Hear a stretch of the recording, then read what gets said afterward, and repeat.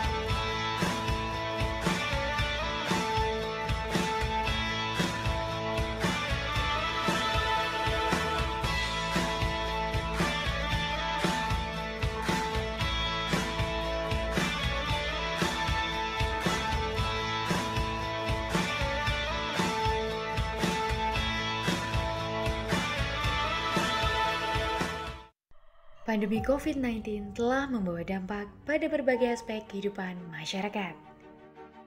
Mulai dari tingginya angka kematian akibat COVID-19, meningkatnya kemiskinan, kerentanan pangan, hingga berubahnya relasi keluarga dan sosial yang berdampak pada perempuan.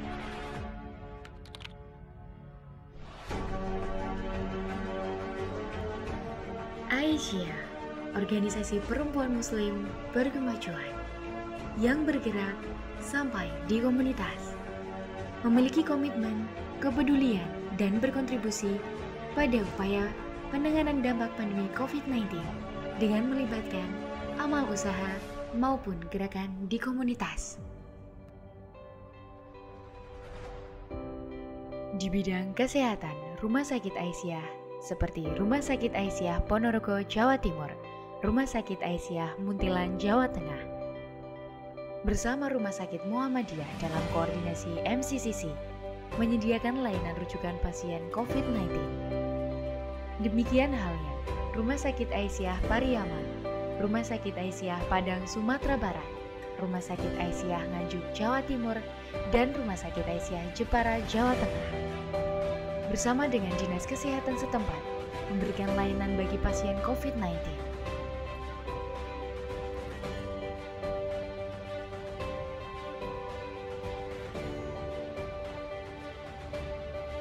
Pimpinan Pusat Aisyah bekerja sama dengan Rumah Sakit PKU Muhammadiyah Yogyakarta menyediakan fasilitas shelter bagi pasien COVID-19 yang diberi nama pesantren COVID-19. Begitu juga dengan Universitas Aisyah Yogyakarta yang menyediakan shelter COVID-19. Bekerja sama dengan pemerintah kabupaten bersama Rumah Sakit PKU Muhammadiyah.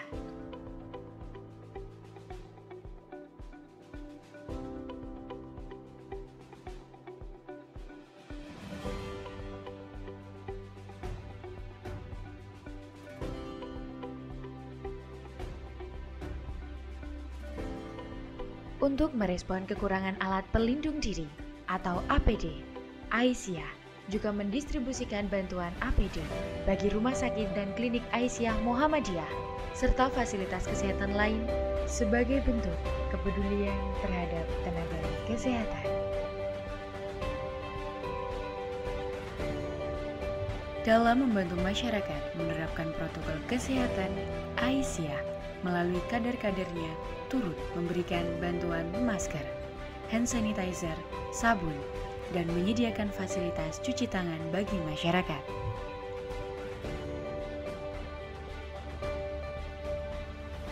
upaya penanganan dampak pandemi di bidang kesehatan juga dilakukan Aisyah melalui edukasi pencegahan COVID-19 bagi warga masyarakat melalui berbagai kegiatan dan kanal media sosial, serta menerbitkan panduan penanganan COVID-19 di komunitas. Sebagai organisasi yang mendasarkan pada pandangan Islam berkemajuan, Muhammadiyah dan Aisyah mengeluarkan panduan pelaksanaan ibadah di masa pandemi.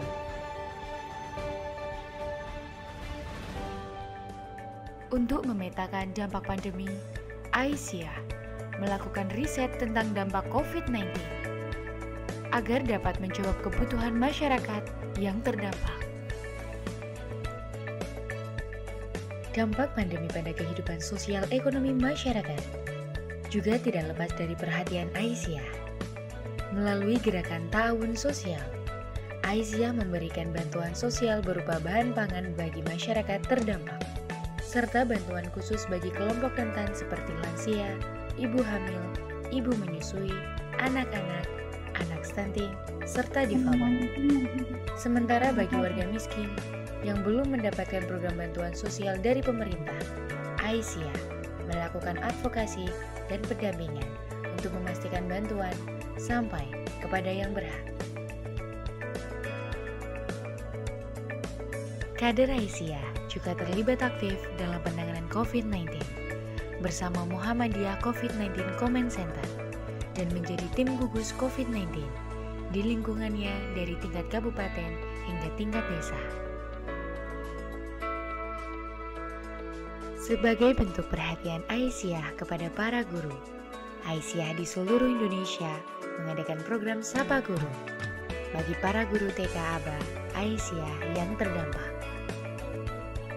Mengatasi kendala pembelajaran di masa pandemi, Lembaga Pendidikan Aisyah beradaptasi dengan mengembangkan berbagai metode pembelajaran agar proses kegiatan belajar mengajar tetap berjalan serta memberikan bantuan alat tulis maupun pinjaman AP bagi para siswa dan siswi.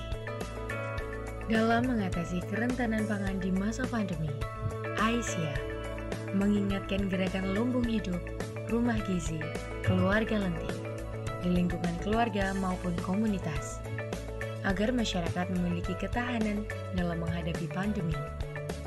Aisyah juga melakukan pendampingan bagi kelompok tani.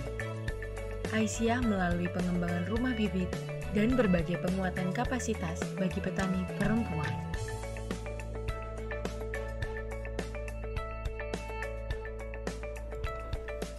Sektor UMKM yang dikelola oleh wirausaha perempuan turut terdampak pandemi COVID-19, sehingga Aisyah melakukan pendampingan bagi UMKM untuk mendapatkan skema bantuan sosial bagi UMKM.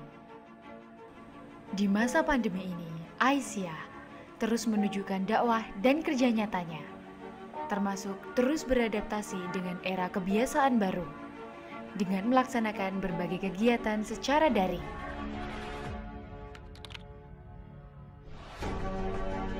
Sebagai implementasi nilai-nilai Islam berkemajuan, Aisyah akan terus bergerak dinamis untuk merespon problem dan menjawab kebutuhan masyarakat. Aisyah, Gerakan Perempuan Muslim Berkemajuan.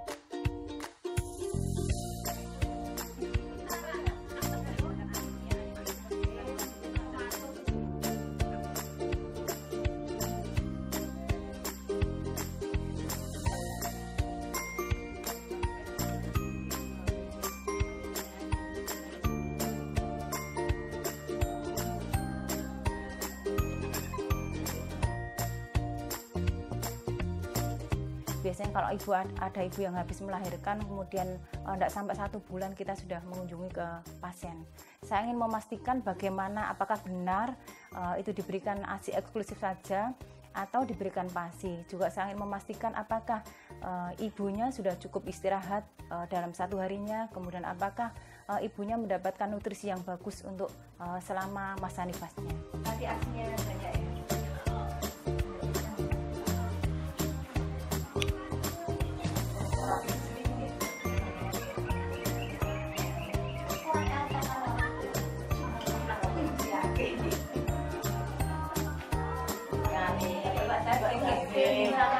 Tempe ada ikan ayam tuh Keren ya, susune. Wah, betul. Enten buah-buahan itu? Ada di dalam. Bisa saya lihat? Oke.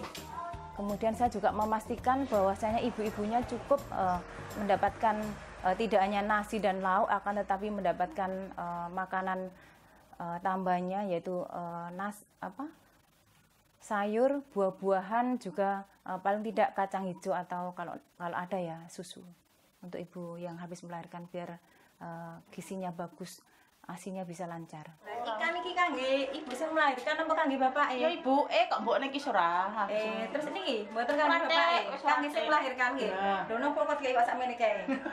Ya teh awet. duda susune cek bancar nggih. Kuahnya juga dihabiskan langsung masak sak piring kok kuah kok wis entek mbok sama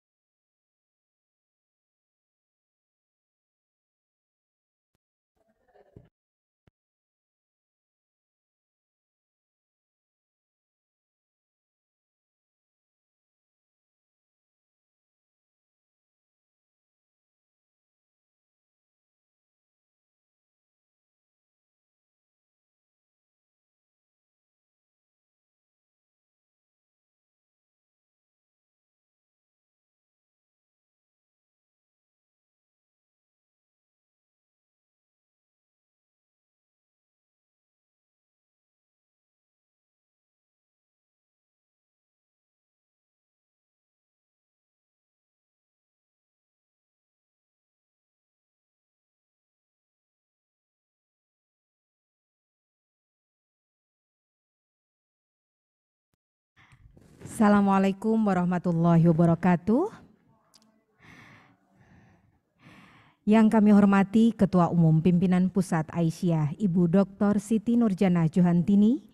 Yang kami hormati anggota Pimpinan Pusat Aisyah. Yang kami hormati narasumber Seminar Nasional, Dr. Hamim Ilyas MAG, Ibu Dina Afrianti PhD dan Ibu Lis Markus MA. Yang kami hormati pimpinan wilayah Aisyah se-Indonesia, yang kami hormati pimpinan daerah Aisyah se-Indonesia. Assalamualaikum warahmatullahi wabarakatuh. Kami ucapkan selamat datang kepada hadirin sekalian dalam acara Seminar Nasional Perspektif GEDSI untuk mewujudkan kesetaraan dan keadilan dalam kerangka Islam berkemajuan untuk mewujudkan dakwah melintas batas Aisyah. Hari ini Sabtu 11 Dzulqa'dah 1443 Hijriah bertepatan dengan tanggal 11 Juni 2022. Baiklah hadirin sekalian yang berbahagia, marilah kita buka acara pada pagi hari ini dengan melafatkan basmalah bersama-sama. Bismillahirrahmanirrahim. Memasuki acara yang kedua, pembacaan ayat suci Al-Quran yang akan dibacakan oleh Saudari Wardatul, mahasiswi Universitas Aisyah Yogyakarta yang akan membacakan Quran Surat Al-Hujurat ayat 13. Kepada Saudari Wardatul kami persilahkan.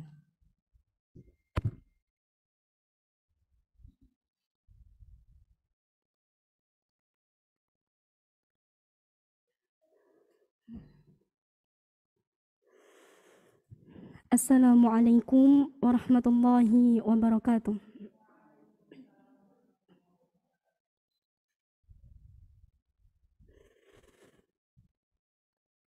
أعوذ بالله من الشيطان الرجيم.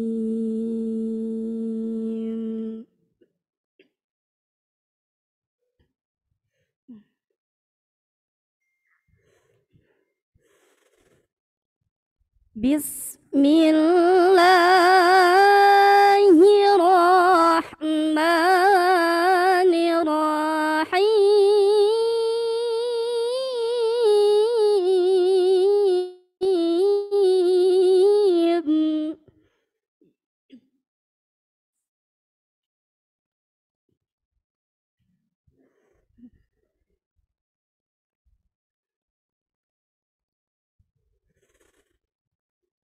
يا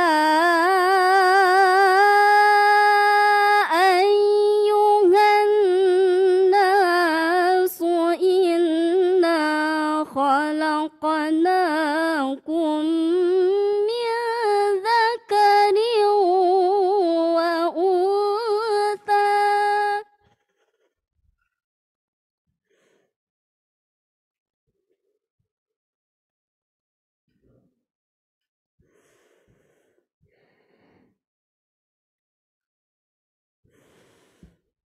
وجعلناكم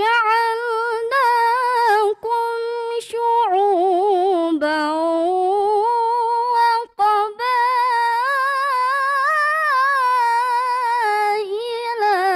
لتعارفوا.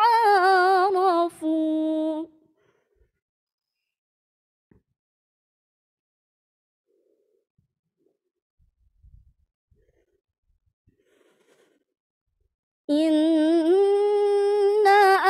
أكرمكم عند الله أتقاكم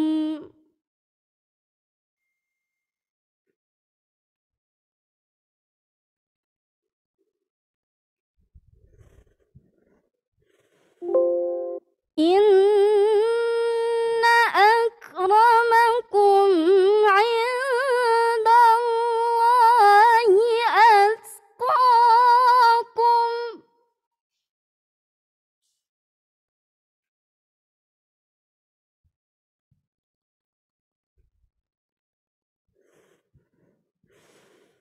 因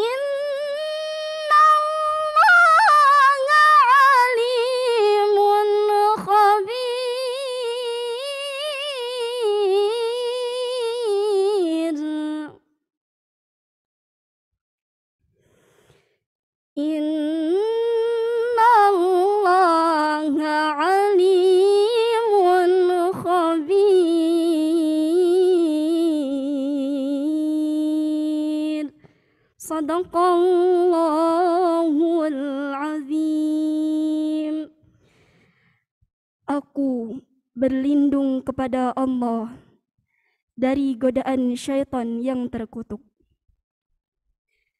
Dengan nama Allah yang maha pengasih, maha penyayang.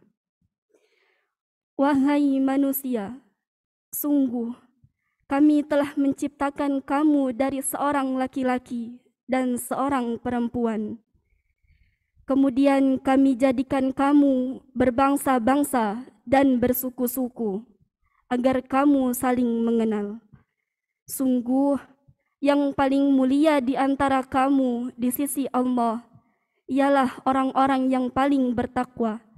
Sungguh, Allah Maha Pengetahui, Maha Teliti. Maha benar Allah dengan segala firman-Nya. Wassalamualaikum warahmatullahi wabarakatuh.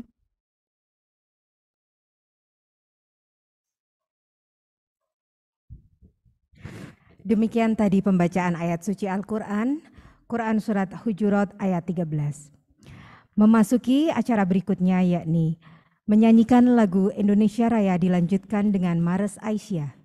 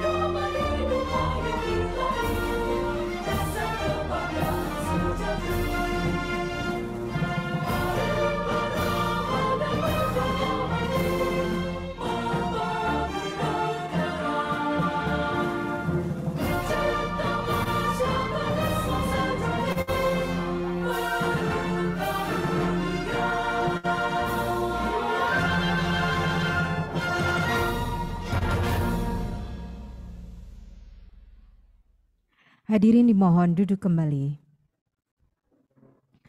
Acara berikutnya, pengantar penyelenggara yang akan disampaikan oleh Ibu Dr. Trihastuti Nur Rahimah, Sekretaris Pimpinan Pusat Aisyah, kami persilahkan. Terima kasih Mbak Hajar.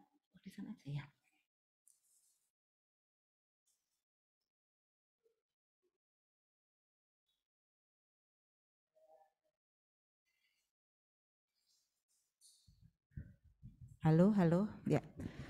Bismillahirrahmanirrahim. Assalamualaikum warahmatullahi wabarakatuh. Ya. Alhamdulillah, alhamdulillahirabbil alamin. Asyhadu alla ilaha illallah wa asyhadu anna Muhammad Rasulullah.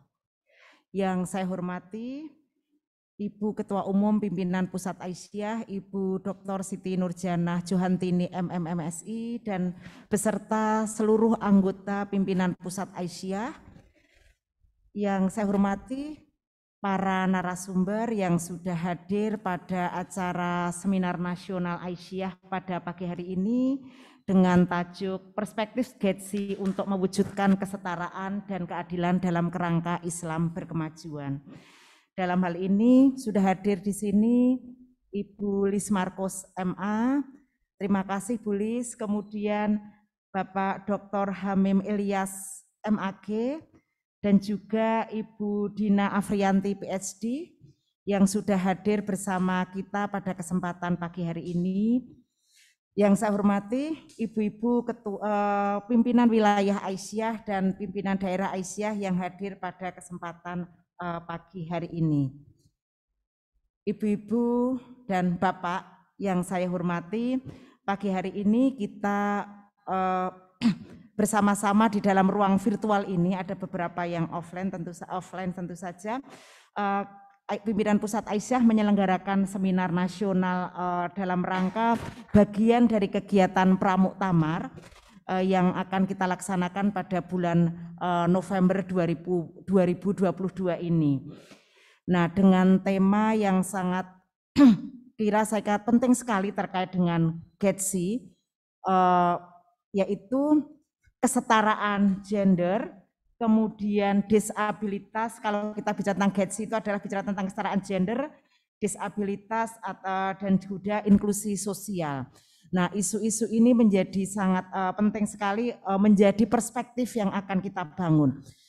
Nah, kalau kita merujuk sebenarnya bicara tentang nilai atau landasan dasar gerak Aisyah, bicara tentang Al-Ma'un, sebenarnya ini sudah menjadi misi sejak awal ketika Muhammadiyah dan Aisyah itu uh, didirikan, di mana ketika Kiai Haji Ahmad Dahlan dan juga Nyai Haji Ahmad Dahlan uh, bicara tentang teologi Al-Ma'un yang selalu menjadi landasan gerak kita, itu adalah kita bicara pada duafa mustad'afin, yaitu kelompok-kelompok miskin dan juga dimiskinkan atau dimarginalkan atau dipinggirkan oleh pembangunan sehingga tidak mendapatkan akses yang merata di dalam proses-proses pembangunan yang terjadi.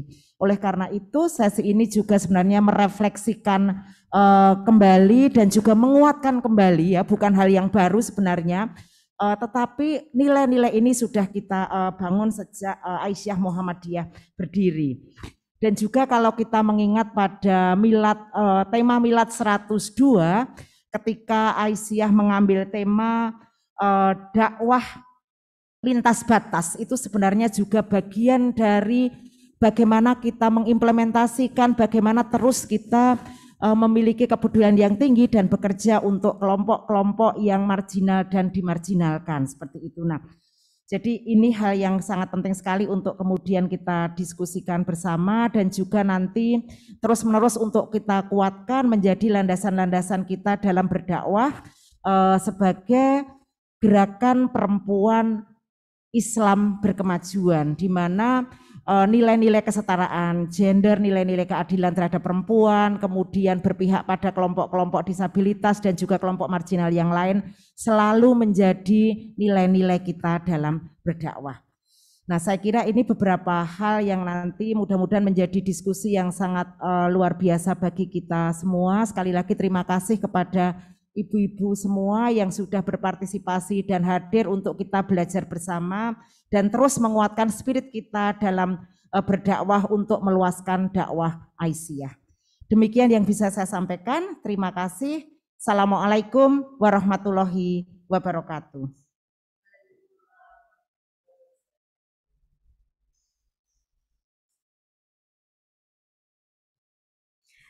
Terima kasih kepada Ibu Dr. Trihastuti Nurahimah yang telah menyampaikan pengantarnya. Baiklah hadirin sekalian yang berbahagia, Acara berikutnya adalah pengarahan dari Ketua Umum Pimpinan Pusat Aisyah kepada Ibu Dr. Siti Nurjannah MMMSI. Kami persilahkan.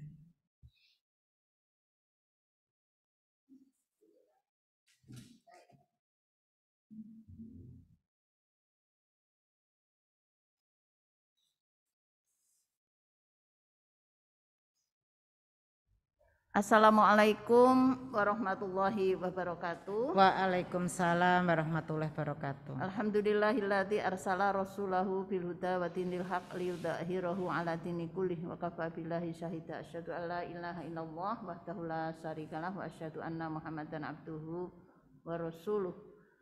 Yang kami hormati ibu-ibu anggota pimpinan pusat uh, Aisyah hadir uh, baik yang ada di uh, ruang aula pimpinan pusat Aisyah bersama uh, kami semua di Yogyakarta dan juga ibu-ibu uh, anggota PP Aisyah yang hadir melalui uh, apa uh, virtual di baik di yang tersebar di beberapa tempat ya di Jakarta, di Surabaya, di Solo dan di tempat-tempat yang lain dengan seluruh uh, jajaran uh, eh, PP Aisyah dengan majelisnya.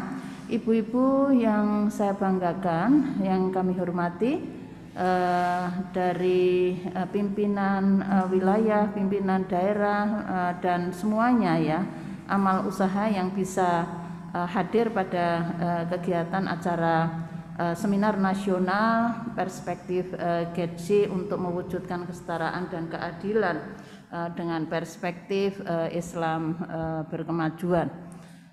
Di pagi yang cerah dan kita rasakan kenikmatan yang luar biasa ini tentu sebuah keniscayaan bagi kita semua ibu-ibu uh, seluruh yang hadir baik yang luring maupun yang daring untuk menyatakan syukur atas nikmat Allah yang telah diberikan kepada kita semua Eh, kita rasakan uh, situasi dan kondisi pandemi yang selama ini sudah uh, mulai terus membaik begitu yang tentu ini kesyukuran bagi kita semua sehingga kita bisa lebih mengoptimalkan berbagai kegiatan Aisyah ya baik dari tingkat pusat sampai ke tingkat apa ranting dan komunitas.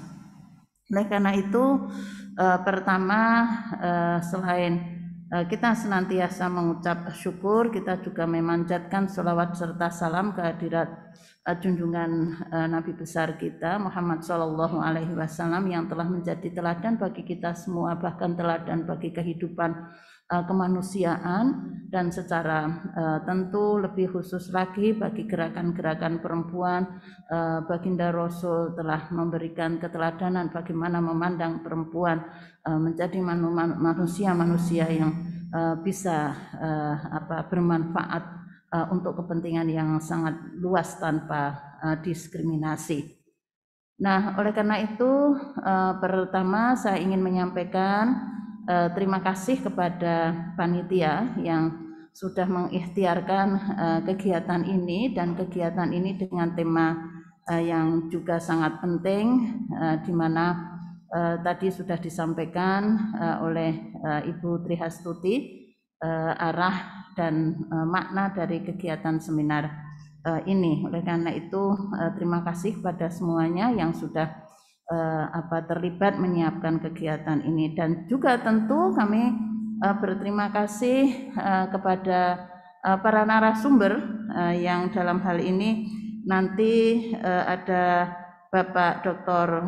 Hamim Ilyas ya uh, uh, tokoh uh, kita yang uh, selama ini sangat uh, um, apa uh, tekun uh, mendalami dengan pandangan-pandangan yang berkemajuan tentang nilai-nilai keislaman yang terkait dengan banyak hal yakni Bapak Dr. Hamim uh, Ilyas MAG. Terima kasih um, Pak Hamim. Saya kami biasa memanggil menyapanya Mas Hamim begitu dan juga terima kasih kepada Mbak Dina yang di Mbak Dina Aprianti PhD yang ada di Melbourne atau di mana ini kebetulan Ibu Dina ya Aisyah kita yang ada uh, sedang bertugas uh, di mana? Di Australia di laptop.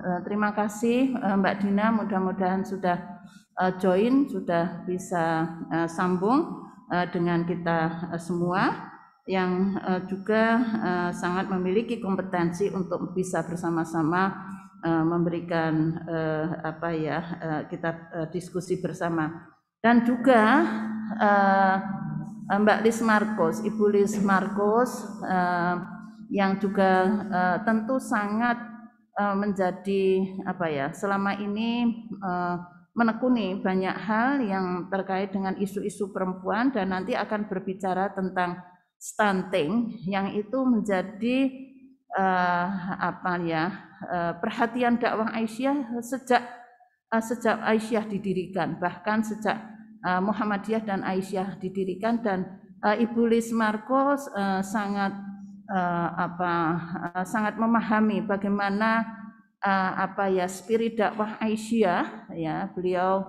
uh, adalah uh, Aisyah uh, yang uh, juga menekuni uh, banyak hal yang terkait dengan isu-isu perempuan dan nanti akan bicara tentang uh, stunting. uh, kita semua mengenal Ibu Lis Marcos dan uh, kami berharap uh, nanti ada banyak hal strategi dan hal-hal baru yang kita bisa diskusikan untuk memperkuat dakwah Aisyah. Jadi kepada tiga narasumber kami sampaikan terima kasih yang sebesar-besarnya. Jazakumullah khairan katsira. Mudah-mudahan menjadi amal kebaikan beliau-beliau.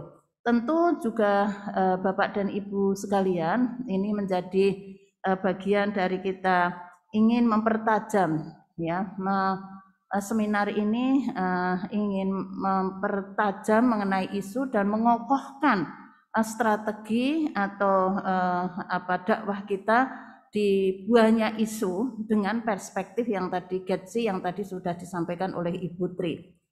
Kalau kita berbicara tentang bagaimana uh, apa posisi perempuan, nilai-nilai pandangan keislaman uh, dengan pandangan Islam berkemajuan yang itu di menjadi landasan bagi gerakan persyarikatan uh, termasuk di dalamnya Aisyah dengan seluruh komunitas ortum dan sebagainya, uh, tentu kita akan bisa melacak ya bahwa satu, satu uh, sudah satu abad yang lalu uh, ternyata persoalan-persoalan yang sekarang masih menjadi uh, isu yang cukup uh, penting ya, isu yang cukup penting yang harus menjadi perhatian uh, itu masih apa relatif ya. Relatif muncul dan kemunculan sejak juga saat Muhammadiyah dan Aisyah apa hadir ya. Bagaimana perhatian bagaimana Muhammadiyah dengan pandangan uh, Islam yang berkemajuan yang uh, tentu uh, apa berdasar nilai-nilai tadi sebagaimana juga ayat yang dibacakan oleh Qori kita Al-Hujarat 13 itu menjadi sesuatu landasan yang itu kemudian juga uh, mendasari dakwah uh, Muhammadiyah Aisyah dari saat zamannya didirikan awal didirikan dari Kiai Dahlan sampai saat ini. Jadi betul sekali uh, tadi disampaikan bahwa kita ingin memperkokoh sekaligus juga memperluas dan melakukan strategi-strategi pembaharuan inovasi Begitu bagaimana langkah-langkah dakwah kita. Kalau eh, terkait dengan bagaimana keberpihakan Muhammadiyah maupun Aisyah, saya pikir ibu-ibu semuanya eh, yang eh, selama ini berkhidmat di Aisyah itu sudah eh, sangat paham eh, bahwa keberpihakan kita kepada kelompok-kelompok yang rentan eh, itu di bahkan eh, tidak sekedar diwacanakan ya tetapi dimulai dilakukan gerakan aksi oleh Kia, eh, apa pendiri Muhammadiyah maupun Aisyah yakni Kiai Dahlan dengan para tokoh awal. Maknanya apa eh, ibu-ibu eh, semuanya, Bapak Ibu sekalian, bahwa ternyata apa yang telah di apa dilakukan dan menjadi eh, agenda pertama berdirinya Muhammadiyah oleh kiai itu sesuatu yang memang sangat penting, sangat fundamental untuk mendapatkan perhatian bersama. Yang bahkan sampai saat ini itu kita masih memperbincangkan walaupun dalam uh, tentu dengan perspektif yang semakin berkembang dengan tuntutan uh, yang juga semakin uh, berkembang. Jadi ibu-ibu yang saya hormati, kita pantas untuk selalu bersyukur bahwa kehadiran Aisyah yang sudah eh, 105 tahun ya, 105 tahun itu sudah on the track. Ya, eh, sudah ada di jalan yang benar, sudah ada di jalan yang tepat untuk terus eh, berikhtiar bagaimana kehidupan kemanusiaan eh, ini yang sudah di eh, apa dituntunkan eh, oleh nilai-nilai ajaran kita ini diimplementasikan dan menjadi eh, bagian dari eh, cara kita ya ikut berkontribusi menghadirkan eh, apa namanya bangsa ini menjadi bangsa yang kuat, bangsa yang eh, apa yang maju eh, menjadi eh, bangsa yang eh, di mana eh, warga bangsanya itu merasa ada eh, pihak-pihak selain negara itu hadir ya untuk bersama-sama menguatkan kehidupannya eh, untuk menjadi orang-orang yang eh, semakin kuat kehidupannya semakin sejahtera. Jadi itu. Nah, oleh karena itu dalam membahas eh, perspektif eh, apa ini Getsi sebagai sebuah eh, per- perspektif dengan kerangka Islam berkemajuan ini, eh, saya berharap bahwa ibu-ibu sekalian untuk mendialogkan pada hal-hal yang eh, lebih eh, tajam pada strategi dan bagaimana gerakan eh, yang akan datang, apalagi ini kita kaitkan ya agenda seminar ini kita kaitkan dengan tema eh, muktamar yang temanya memang apa ya bukan bukan agak berat ya tetapi itu memang sebuah tuntutan dan eh, menjadi sebuah eh, tema yang harus kita eh, eh, yang tema yang kita usung itu kemudian ada sesuatu yang kita eh, step by step kita refleksikan apa yang sudah kita lakukan kemudian apa saja yang harus dikembangkan sehingga menuju pada tema Muktamar Aisyah ke-48 yakni perempuan berkemajuan mencerahkan peradaban bangsa. Tentu tidak sederhana. Kiai Dahlan sudah memulai 100 dan Nyai dan para tokoh 105 tahun yang lalu, tetapi kita masih harus tetap untuk memberikan perhatian ah, ya pada isu-isu ini yang bahkan secara global eh, isu ini masuk di dalam forum-forum eh, global kesepakatan-kesepakatan eh, global eh, seperti apa eh, SDGs. Jadi kalau kita berbicara tentang eh, kesepakatan eh, global SDGs tujuan eh, ber apa pembangunan berkelanjutan sebenarnya kita sudah masuk pada banyak isu yang itu juga menjadi perhatian Aisyah. Bukan saja perhatian Aisyah di tingkat pusat sebagai sebuah wacana tetapi Aisyah melakukannya selama ini dengan sebuah gerakan-gerakan aksi gerakan amaliyah karena agama Islam itu juga agama amaliyah, agama yang menuntunkan eh, kepada kita semua untuk terimplementasi nilai-nilai dasar nilai itu kemudian terimplementasi dalam kehidupan. Saya pikir ini sebuah kekayaan yang luar biasa. Kita bersyukur ada eh, di Aisyah Muhammadiyah ini Eh, hanya saja tinggal mari ibu-ibu sekalian apa namanya eh, persiapan muktamar kita yang tinggal eh, berapa eh, Bu Ais? Enam bulan ya? Atau lima bulan nanti di bulan November di tanggal ya tanggal berapa? Aduh jadi lupa. 18 eh, November kita akan bermuktamar. Tetapi muktamar tidak sekedar berkumpul. Nah, di anu, tradisi kita. Eh, ya kekuatan kita bahwa muktamar itu bukan sekedar berkumpul memilih kepengurusan. Tetapi bagaimana justru dari sekarang dan beberapa eh, saat kita merefleksikan apa yang sudah kita lakukan. Kemudian bagaimana agenda-agenda untuk memajukan ya. Bagaimana agenda-agenda eh, untuk eh, memajukan eh, dakwah kita memberikan solusi terhadap berbagai persoalan di mana pada perspektif Getsi ini eh, dalam kehidupan eh, apa kita masih ada kesenjangan ya masih ada kesenjangan. Kenapa ada kesenjangan? Kesenjangan dalam konteks gender misalnya. Laki-laki eh, dengan perempuan ada pandangan-pandangan yang juga sering ada stereotip yang kemudian membuat kebijakan atau langkah-langkah dakwah itu menjadi juga bias gender tapi di Aisyah, di Muhammadiyah, ya dengan eh, apa eh, dengan pandangan Islam eh, berkemajuan, ibu-ibu sekalian, saya pikir kalau kita bicara Islam berkemajuan dalam sebuah forum para pimpinan itu sudah sampai ada di uh, urat apa ini urat uh, urat dan aliran darah kita ya uh, ke bagaimana bahwa nilai-nilai Islam itu atau agama atau Islam itu menjadi panduan hidup bagi uh, manusia untuk bisa uh, maju. Nah, bagaimana untuk maju? Bagaimana ikhtiar kita dan bagaimana kita bisa bersama-sama menyelesaikan persoalan-persoalan kehidupan kita? Itulah lahan dakwah yang luar biasa bagi kita semua di Aisyah.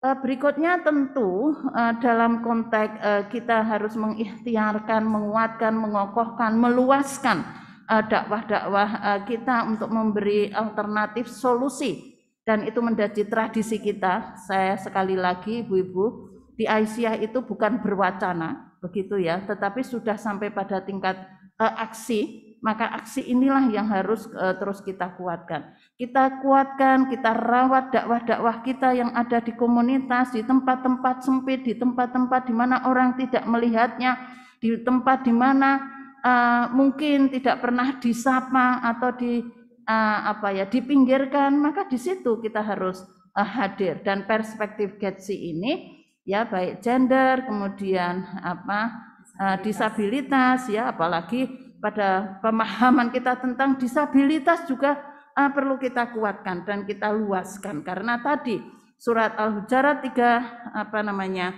uh, 13 tadi uh, jelas uh, sekali. Dan juga karena sebuah hadis yang sangat familiar bagi kita bagaimana kita ini bisa bertawun bagaimana kita ini khairun nas anfa'uhum linnas jadi uh, bermanfaat. Saya pikir ibu-ibu dipanggil beraisyah ini tidak ada uh, apa uh, gerakan lain yang tumbuh dari uh, batin jiwa dan pikiran kita kecuali memang untuk uh, kepada yang di atas ya kepada yang di atas kalau untuk kepada yang samping-samping yang tidak jelas kehidupan dunia saya meyakini karena uh, Aisyah tidak akan bisa berkembang seperti sekarang ini kita bisa besar, berkembang dan terus uh, bersama-sama menguatkan uh, kebersamaan kita menggerakkan dakwah karena kita uh, dengan apa ada hubungan yang sangat kuat di dalam batin dan pikiran mata hati kita kepada yang di atas. Itu yang kuat karena kehadiran ibu-ibu semua sebagai pejuang-pejuang dakwah ini memiliki keikhlasan dan komitmen yang luar biasa tapi tidak cukup itu saja, kita harus mengikuti perkembangan yang ada dan kita harus mengkreat hal-hal yang sekiranya itu bisa lebih memberi manfaat cara-cara dakwah kita dan uh, bagaimana uh, apa isu ini uh, menjadi perhatian kita. Jadi itu ibu-ibu sekalian, oleh karena itu kita Ingat juga di dalam surat Al-Isra 7 bahwa kalau kita berbuat baik itu kebaikan itu buat kita. Jadi luar biasa Gusti Allah, eh Gusti Allah. Allah itu uh, memberikan kesempatan kepada uh, manusia. Tapi kalau berbuat uh, buruk, jelek, itu akan kembali kepada kita. Uh, Tuhan itu hanya memberikan pilihan, selalu memberikan pilihan kepada kehidupan kita. Tinggal kita mau memilih yang mana. Melalui Aisyah ini tentu kita ada pilihan yang pertama, yakni pilihan berbuat baik, pilihan untuk berkebajikan, pilihan untuk mendorong keunggulan-keunggulan eh, apa dakwah kita demi kebajikan-kebajikan kehidupan tanpa diskriminasi. Sekali lagi tanpa diskriminasi dan itu bukan wacana.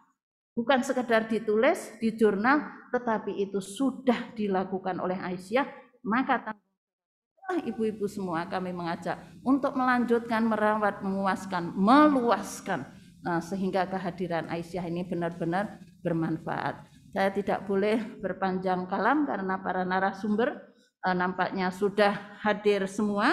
Sekali lagi mari kita ikuti eh, dan ibu-ibu sekalian akan eh, apa? Sampai muktamar jelang muktamar akan ada banyak kegiatan uh, dari majelis maupun dari uh, langsung dari pimpinan pusat, kajian-kajian apa bentuknya seminar atau kajian atau apa karena kita sedang terus ingin mendialogkan hal-hal penting yang itu akan kita bawa uh, dan kita uh, rumuskan uh, untuk kepentingan Aisyah yang akan datang. Aisyah yang lebih maju, Aisyah yang dicintai oleh umat, Aisyah yang dicintai oleh kita semua karena kita berbuat sesuatu.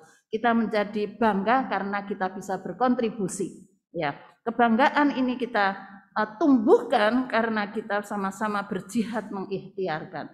Uh, kalau tidak pernah ikhtiar tidak akan pun uh, apa tumbuh kebanggaan. Mari uh, di forum yang sangat penting ini uh, kita diskusikan hal-hal yang penting dengan para narasumber yang luar biasa. Sekali lagi terima kasih uh, Pak Hamim Ilyas, Ibu Lis Marcos, Mbak Dina uh, yang uh, telah sama-sama dengan kita mencintai Aisyah, mencintai umat, mencintai bangsa dan mencintai kemanusiaan. Nasru minallah wa qarib.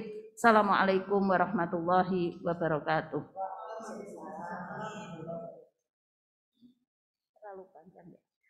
Demikian tadi pengarahan dari Ketua Umum Pimpinan Pusat Aisyah tentang pentingnya bagaimana kita memperkuat dakwah melintas batas dengan perspektif Getsi dalam kerangka perspektif Islam berkemajuan. Baiklah hadirin yang berbahagia, tibalah kita dalam acara Seminar Nasional Aisyah Perspektif Getsi untuk mewujudkan kesetaraan dan keadilan dalam kerangka perspektif Islam berkemajuan yang akan menghadirkan tiga narasumber, yakni Ibu Dina Afrianti PhD, uh, yang akan memaparkan tentang uh, Getsi untuk mewujudkan perspektif Getsi untuk mewujudkan keadilan dan kesetaraan akses. Lalu kemudian uh, narasumber kedua yakni Ibu Lis Markus MA yang akan memaparkan tentang stunting dan perkawinan anak dalam perspektif Getsi. Kemudian Dr. Hamim Ilyas MAG yang akan memaparkan tentang bagaimana dakwah melintas batas pada kelompok disabilitas dan minoritas dalam perspektif Islam berkemajuan. Adapun moderator pada seminar kali ini adalah Ibu Dr. Islamiatur Rohmah MAG. Uh, untuk itu selanjutnya acara kami serahkan kepada Ibu Dr. Islamiatur Rohmah MAG. Terima kasih. Assalamualaikum warahmatullahi wabarakatuh.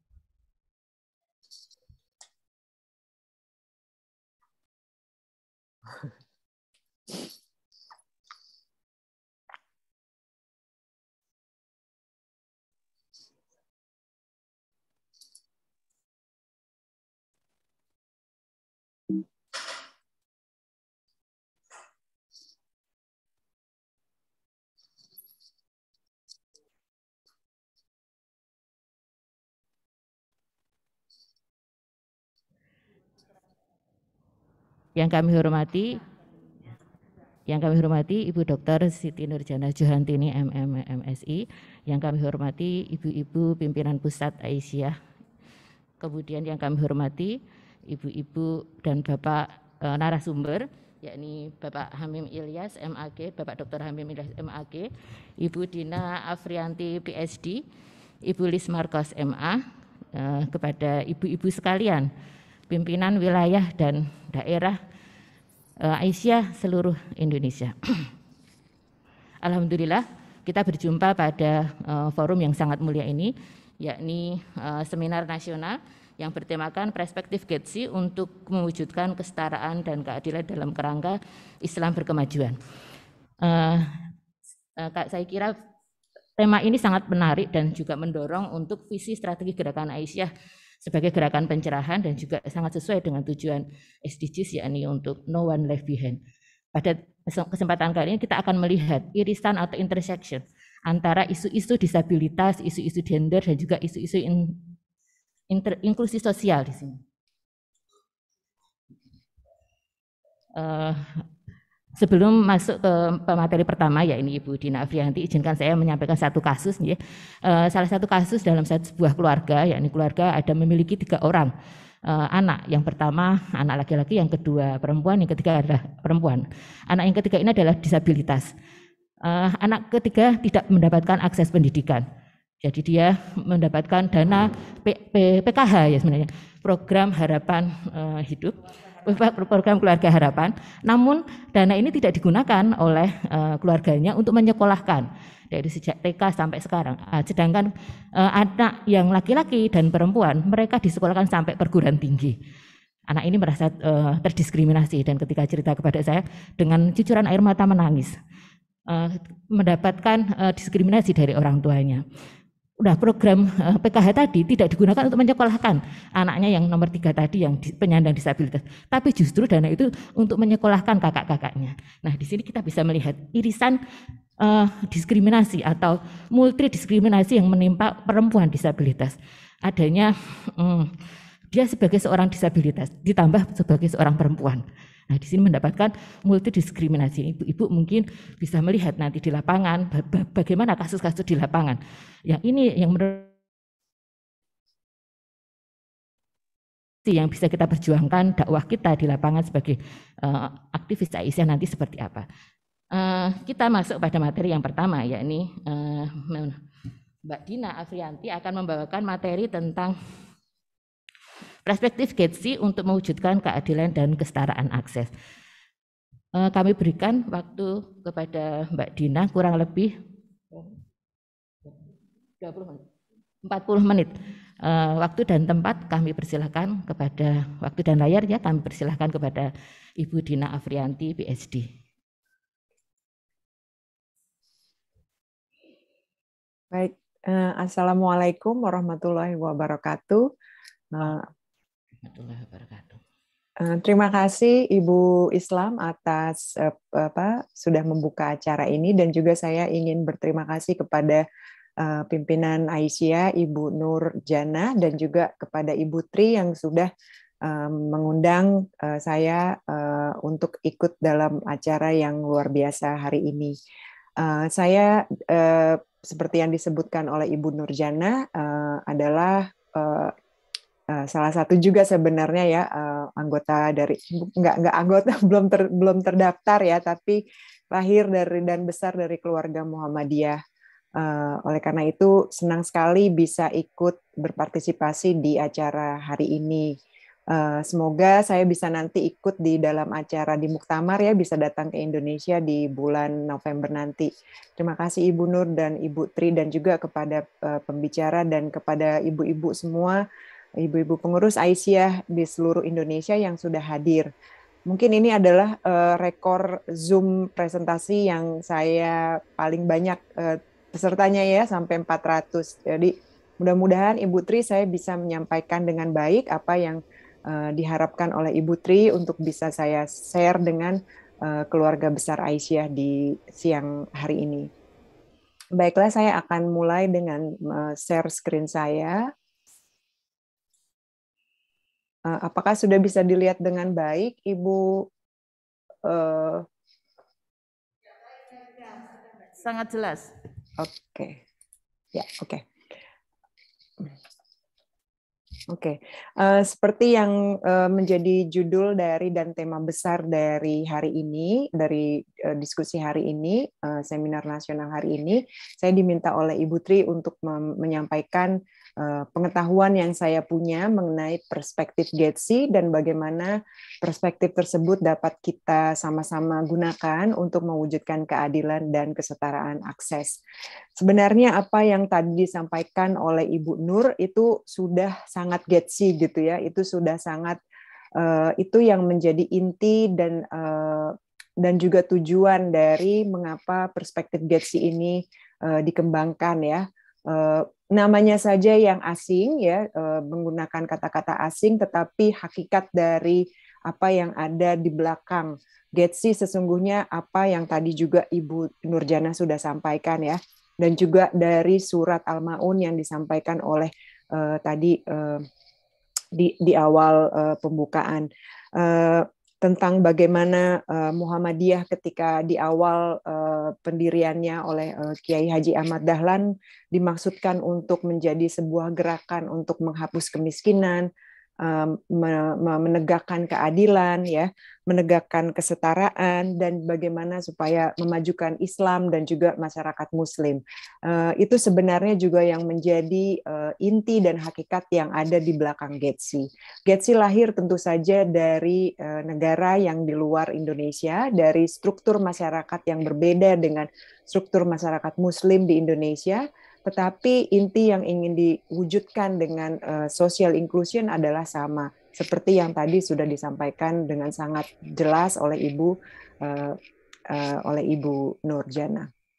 Nah, hari ini saya akan kira-kira berusaha untuk dalam waktu 40 menit, Ibu Islam, tolong saya dikasih peringatan ketika lima menit sebelum sebelum 40 menit saya habis ya Ibu Islam.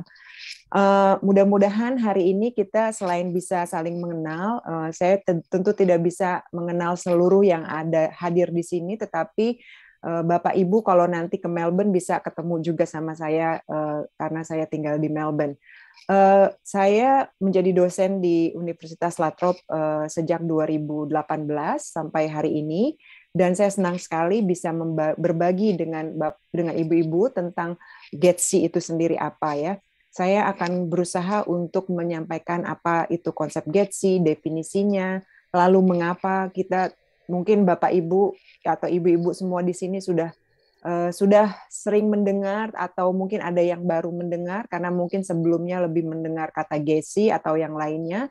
Dan apa kemudian pengaruhnya uh, bagi kita uh, uh, apa uh, sebagai saya misalnya sebagai dosen juga kepada ibu-ibu Aisyah dan juga yang banyak ini yang menjadi dosen seperti Ibu Islam apa itu pengaruhnya kepada uh, pekerjaan kita ya kepada apa yang kita lakukan uh, mudah-mudahan dalam 40 menit saya bisa menyampaikan itu semua. Nah oke okay, yang pertama kali adalah mengapa Getsi ya?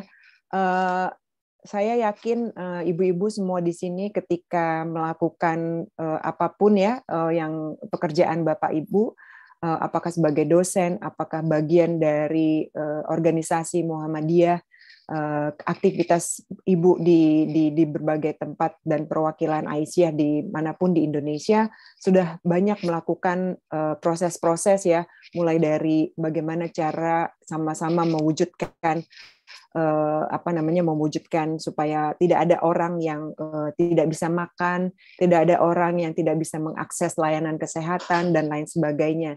Banyak sekali pendekatan yang sudah kita banyak lakukan ya.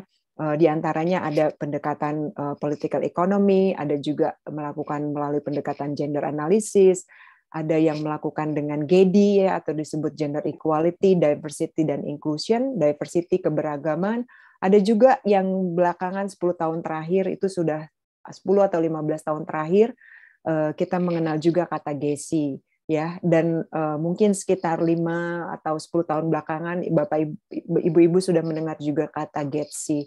Dan mungkin yang terbentuk terben, ter, uh, teringat ketika atau tercetus ketika mendengar kata Getsi atau ketika diajak oleh Ibu Nur mengikuti acara ini dan membaca undangan kata Getsi adalah ini apalagi sesuatu yang baru lagi gitu ya. Mungkin mungkin ada yang ber, ber, ber, ber merespon seperti itu sesungguhnya tidak ada yang sesuatu yang baru banget gitu ya terutama dengan kalau kita tadi mendengar apa yang disampaikan Ibu Nur uh, saya ingin mulai dengan uh, uh, dengan adanya ada dengan dengan empat konsep inti yang ada di dalam Getsi. Jadi Getsi sebenarnya adalah sebuah se, sebuah pendekatan atau sebuah proses cara cara bekerja kita, cara kita menganalisa persoalan, cara kita mengidentifikasi bagaimana kita bisa mencari jawaban atas persoalan tersebut dan juga bagaimana kita bisa merumuskan uh, apa uh, yang apa apa bagaimana solusi yang kita tawarkan itu bisa Eh, betul-betul mencapai tujuannya. Sehingga eh, permasalahan yang kita lihat ada di sekitar kita itu bisa kita sama-sama carikan eh, jalan keluarnya. Nah, ada empat hal penting yang yang kita bisa ambil dari apa yang ada di belakang apa kata Getsi ya Bapak Ibu. Yang pertama adalah pemenuhan hak dasar bagi seluruh individu. Uh, jadi yang yang pertama kali kita ingat kalau kita mengenal atau mendengar kata Getsi adalah bahwa uh, kita sebagai bagian dari uh, warga negara, sebagai bagian dari masyarakat, sebagai bagian dari Aisyah gitu ya, kita punya kewajiban untuk memastikan bahwa tidak ada seorang pun uh, baik yang ada di sekitar kita atau yang ada di Indonesia seluruhnya itu yang haknya tidak dipenuhi. Tadi cerita dari Ibu Islam misalnya adalah satu, satu contoh yang uh, mungkin banyak sekali bisa kita temui di kehidupan kita sehari-hari. Uh, apa uh, bagaimana orang dengan disabilitas dan anak perempuan dengan disabilitas atau orang tua dengan disabilitas atau atau kelompok uh, yang ber, ber, memiliki orientasi seksual atau kelompok yang mempunyai agama berbeda, kelompok yang kelompok masyarakat adat ya, uh, seluruhnya uh, belum bisa mendapatkan hak-hak mereka yang sesungguhnya sudah diatur dan sudah dijamin oleh oleh negara dalam hal ini. Oleh karena itu, yang prinsip pertamanya adalah uh, pemenuhan hak dasar bagi semua individu Nah, dengan memenuhi hak dasar hak hak dasar individu di antaranya adalah uh, apa tidak ada orang yang uh, yang harus hidup atau hidup dalam uh, belutan rasa takut misalnya tidak takut takut besok tidak bisa makan, takut besok anaknya tidak bisa sekolah atau besok takut orang tua kita tidak bisa mendapatkan layanan kesehatan di rumah sakit misalnya takut uh, besok tidak diajak dalam uh, kegiatan yang ada di kampung misalnya ya uh, takut besok tidak bisa ikut dalam um, acara uh, yang dilakukan oleh pemerintah daerah misalnya tidak diajak ikut dalam musyawarah untuk mendapatkan untuk untuk uh, misalnya musyawarah apa pun ya di, di, di yang ada di sekitar kita. Rasa-rasa ketakutan tersebut uh, itu uh, pasti banyak dirasakan oleh banyak orang ya.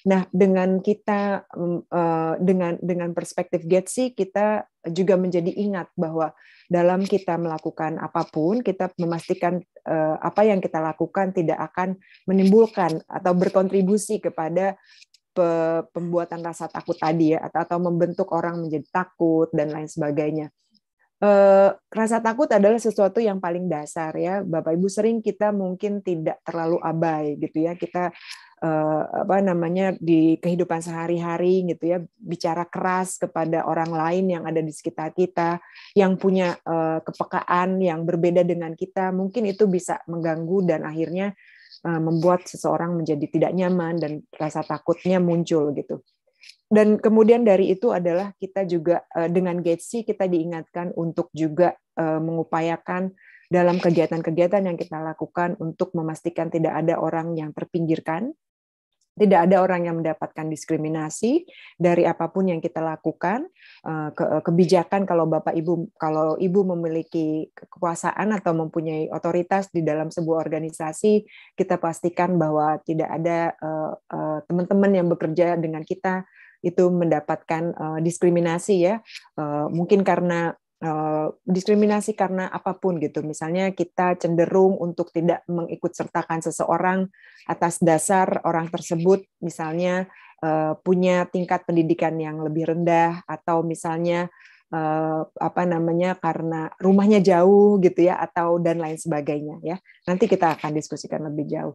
Nah uh, tentu saja kalau kita uh, yang yang yang selanjutnya adalah uh, bagaimana dengan uh, upaya untuk tidak mendap, mem memperlakukan orang dengan cara berbeda adalah bahwa kita harus juga memastikan bahwa kesetaraan gender, inklusi disabilitas adalah sebuah konsep yang eh, berkaitan gitu ya.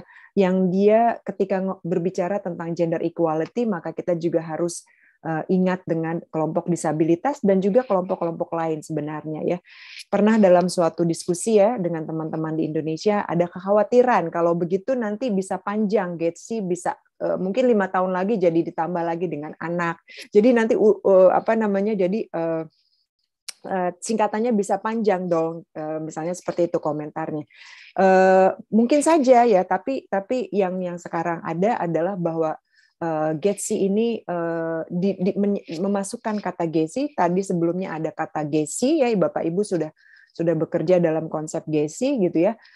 Karena ada kecenderungan atau ada kesadaran baru gitu ya. Tentu saja akibat adanya SDG juga dan juga ada Eh, gerakan internasional baru untuk memastikan kelompok disabilitas sebagai suatu kelompok minoritas yang besar di, di, di seluruh negara di dunia itu menjadi mendapatkan perhatian yang sama gitu. Perhatian yang yang khusus juga sehingga upaya-upaya uh, penguatan dan pemberian kesempatan uh, itu diberikan. Seperti juga ketika melakukan penguatan dan memberikan kesempatan kepada perempuan, kelompok-kelompok perempuan dan uh, lain sebagainya. Uh, tentu saja sekarang kita memang kalau dari singkatannya ya di, hanya hanya hanya gender equality dan disabilitas, tetapi sesuatu yang tidak tertulis di situ adalah di balik kata social inclusion-nya ya, bahwa di balik social inclusion adalah keragaman. Uh, seperti yang di di kolom pertama yang berwarna merah hak dasar bagi semua individu uh, apa pun atribut yang melekat pada dirinya gender, disabilitas, etnis, orientasi seksual, warna kulit, bahasa yang digunakan, eh, di mana mereka tinggal ya antara yang berada yang hidup di jauh di pegunungan dengan yang tinggal di kota harusnya tidak ada perbedaan tentang bagaimana mereka bisa ikut berpartisipasi dan mendapatkan eh, akses. Nah, seperti tadi yang disampaikan Ibu eh, Nur juga Muhammadiyah itu sudah melakukan semua sebenarnya. Kemarin saya lihat ada sebuah meme di sosial media, uh, tulisannya gini, jadi ada sekolah di Papua kalau nggak salah, uh, masuk uh, anak Kristen sekolah di Muhammadiyah lulus tetap Kristen gitu ya. Jadi uh, itu adalah salah saya sampai merinding gitu ya membaca itu karena di situ sebenarnya apa yang di menjadi cita-cita dari social inclusion ya bahwa setiap orang bisa mendapatkan akses dan Muhammadiyah sudah menyiapkan itu dan sudah memberikan kesempatan itu secara sama walaupun bukan warga Muhammadiyah walaupun bukan orang muslim tetapi mendapatkan akses pendidikan yang negara belum bisa memenuhinya gitu ya tanpa meminta mahasiswa tersebut untuk menjadi uh, warga Muhammadiyah atau menjadi orang muslim gitu ya. Nah, uh, jadi kata yang harus uh, bagi saya sendiri apa yang paling penting adalah mengingat kata inklusi sosial. Uh, dan kita juga harus uh, menyadari ya sebenarnya kata inclusion itu bahasa asing gitu ya. Bahasa asing yang di bahasa Indonesia kan menjadi kata inklusi. Tetapi kalau kita mencari konsep awalnya atau kita mencari kepadanan atau apa uh, apa uh, apa namanya istilah atau cita-cita yang ada di Indonesia itu sebenarnya sudah banyak ya. Banyak sekali dan di Muhammadiyah sendiri seperti yang Ibu Nur tadi juga sampaikan itu sudah menjadi uh, itu adalah inklusi gitu. Nah ini lahir di Barat ya kata inclusion. Jadi karena di setiap struktur masyarakat di Australia, di Amerika, dan di tempat kelahiran kata inklusi, itu juga masih banyak terjadi dan bahkan mungkin lebih lebih lebih lebih rumit gitu eh, dengan dengan dengan segala macam keragaman yang ada di negara-negara di luar Indonesia ya. Ada faktor imigrasi juga dan lain sebagainya. Nah eh, jadi inklusi adalah sebuah cita-cita sebuah keinginan sebuah harapan gitu. Dan dan itu juga menurut saya yang saya pahami dari yang Ibu Nur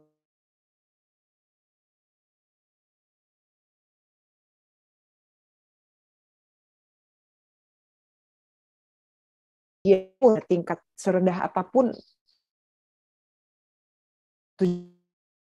Ya karena uh, yang menjadi uh, kepentingan dari Muhammadiyah adalah bagaimana setiap orang men uh, mendapatkan haknya, tidak terpinggirkan, tidak punya rasa takut, tidak punya rasa uh, khawatir ya uh, untuk tidak bisa uh, apa namanya uh, hidup dengan dengan uh, dengan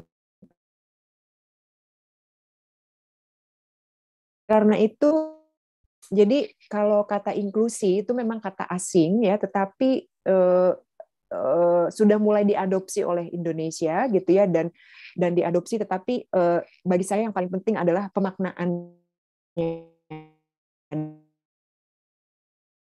Ibu Aisyah dan Muhammadiyah itu sudah tidak asing gitu ya, cita-cita dan harapan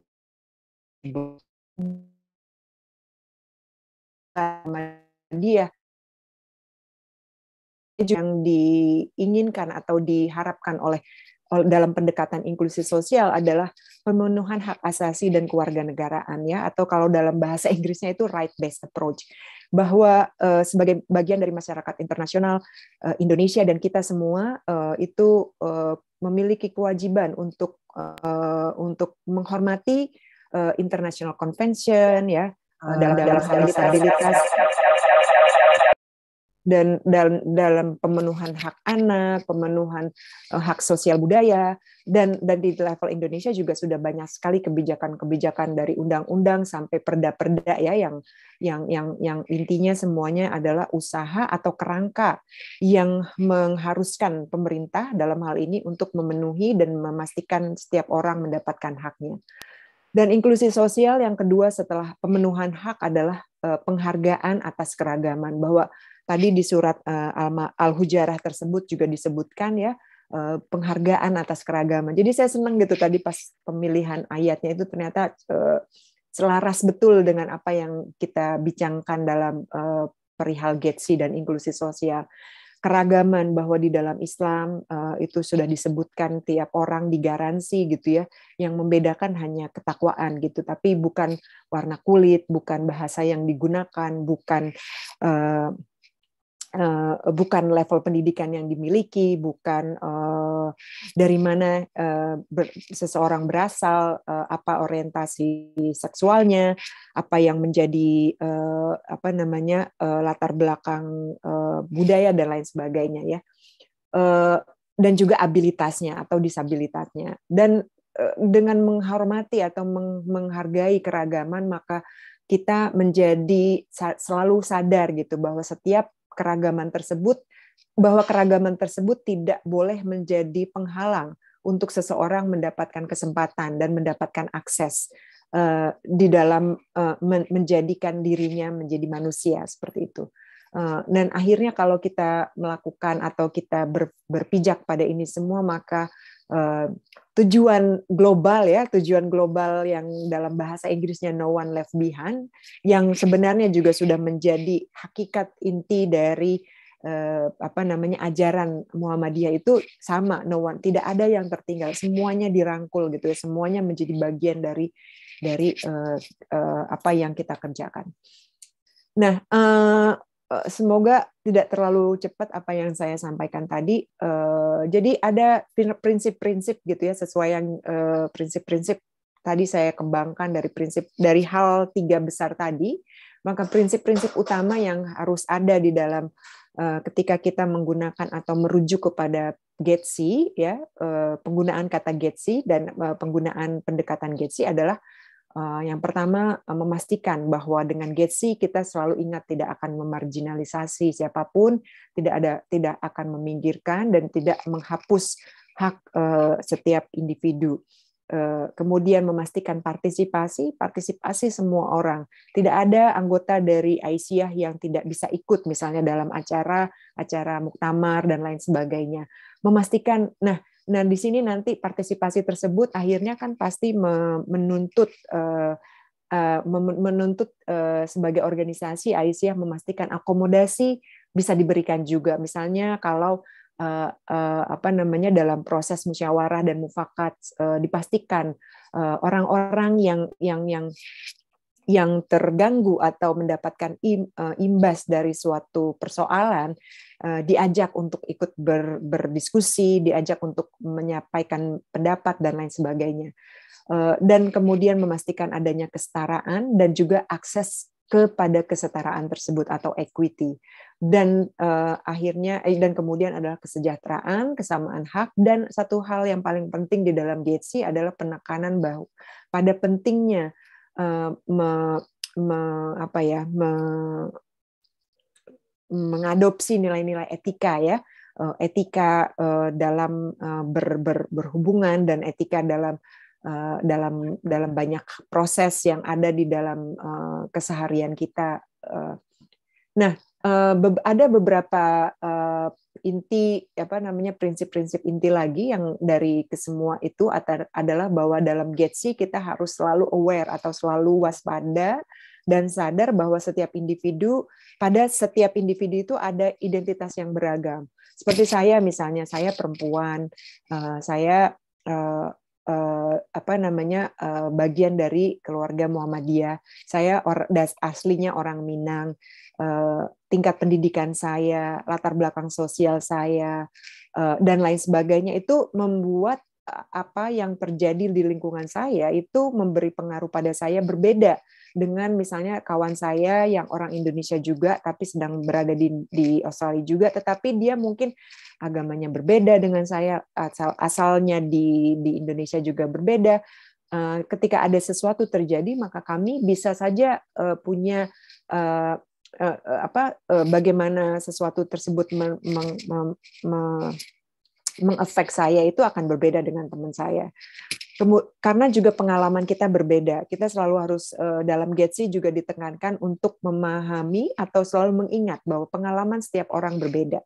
Ketika ada orang menyatakan suatu eh, pandangan atau pendapat atas suatu kejadian, eh, dan itu menurut kita berbeda dengan pandangan kita, nah kita bisa berefleksi. Mungkin karena pengalaman yang dilalui oleh orang tersebut berbeda dan menghargai pengalaman tersebut. Kemudian pelibatan dan penghormatan artinya tadi mengajak berpartisipasi, eh, menghormati. Kemudian dalam eh, kita juga ketika ada marginalisasi kita harus mencari tahu sumber-sumber dari marginalisasi, sumber-sumber penindasan, sumber-sumber yang membuat seseorang eh, punya rasa takut misalnya. Misalnya takut untuk datang ke acara Muktamar Muhammadiyah atau takut untuk ikut dalam rapat Aisyah misalnya Eh, kalau ada yang seperti itu, nah kita harus cari tahu kenapa gitu. Ada orang yang takut untuk uh, ikut berpartisipasi di acara diskusi di kampung misalnya, itu harus kita cari tahu kenapa. Mungkin karena pengalaman yang pernah terjadi pada pada orang tersebut dan lain sebagainya.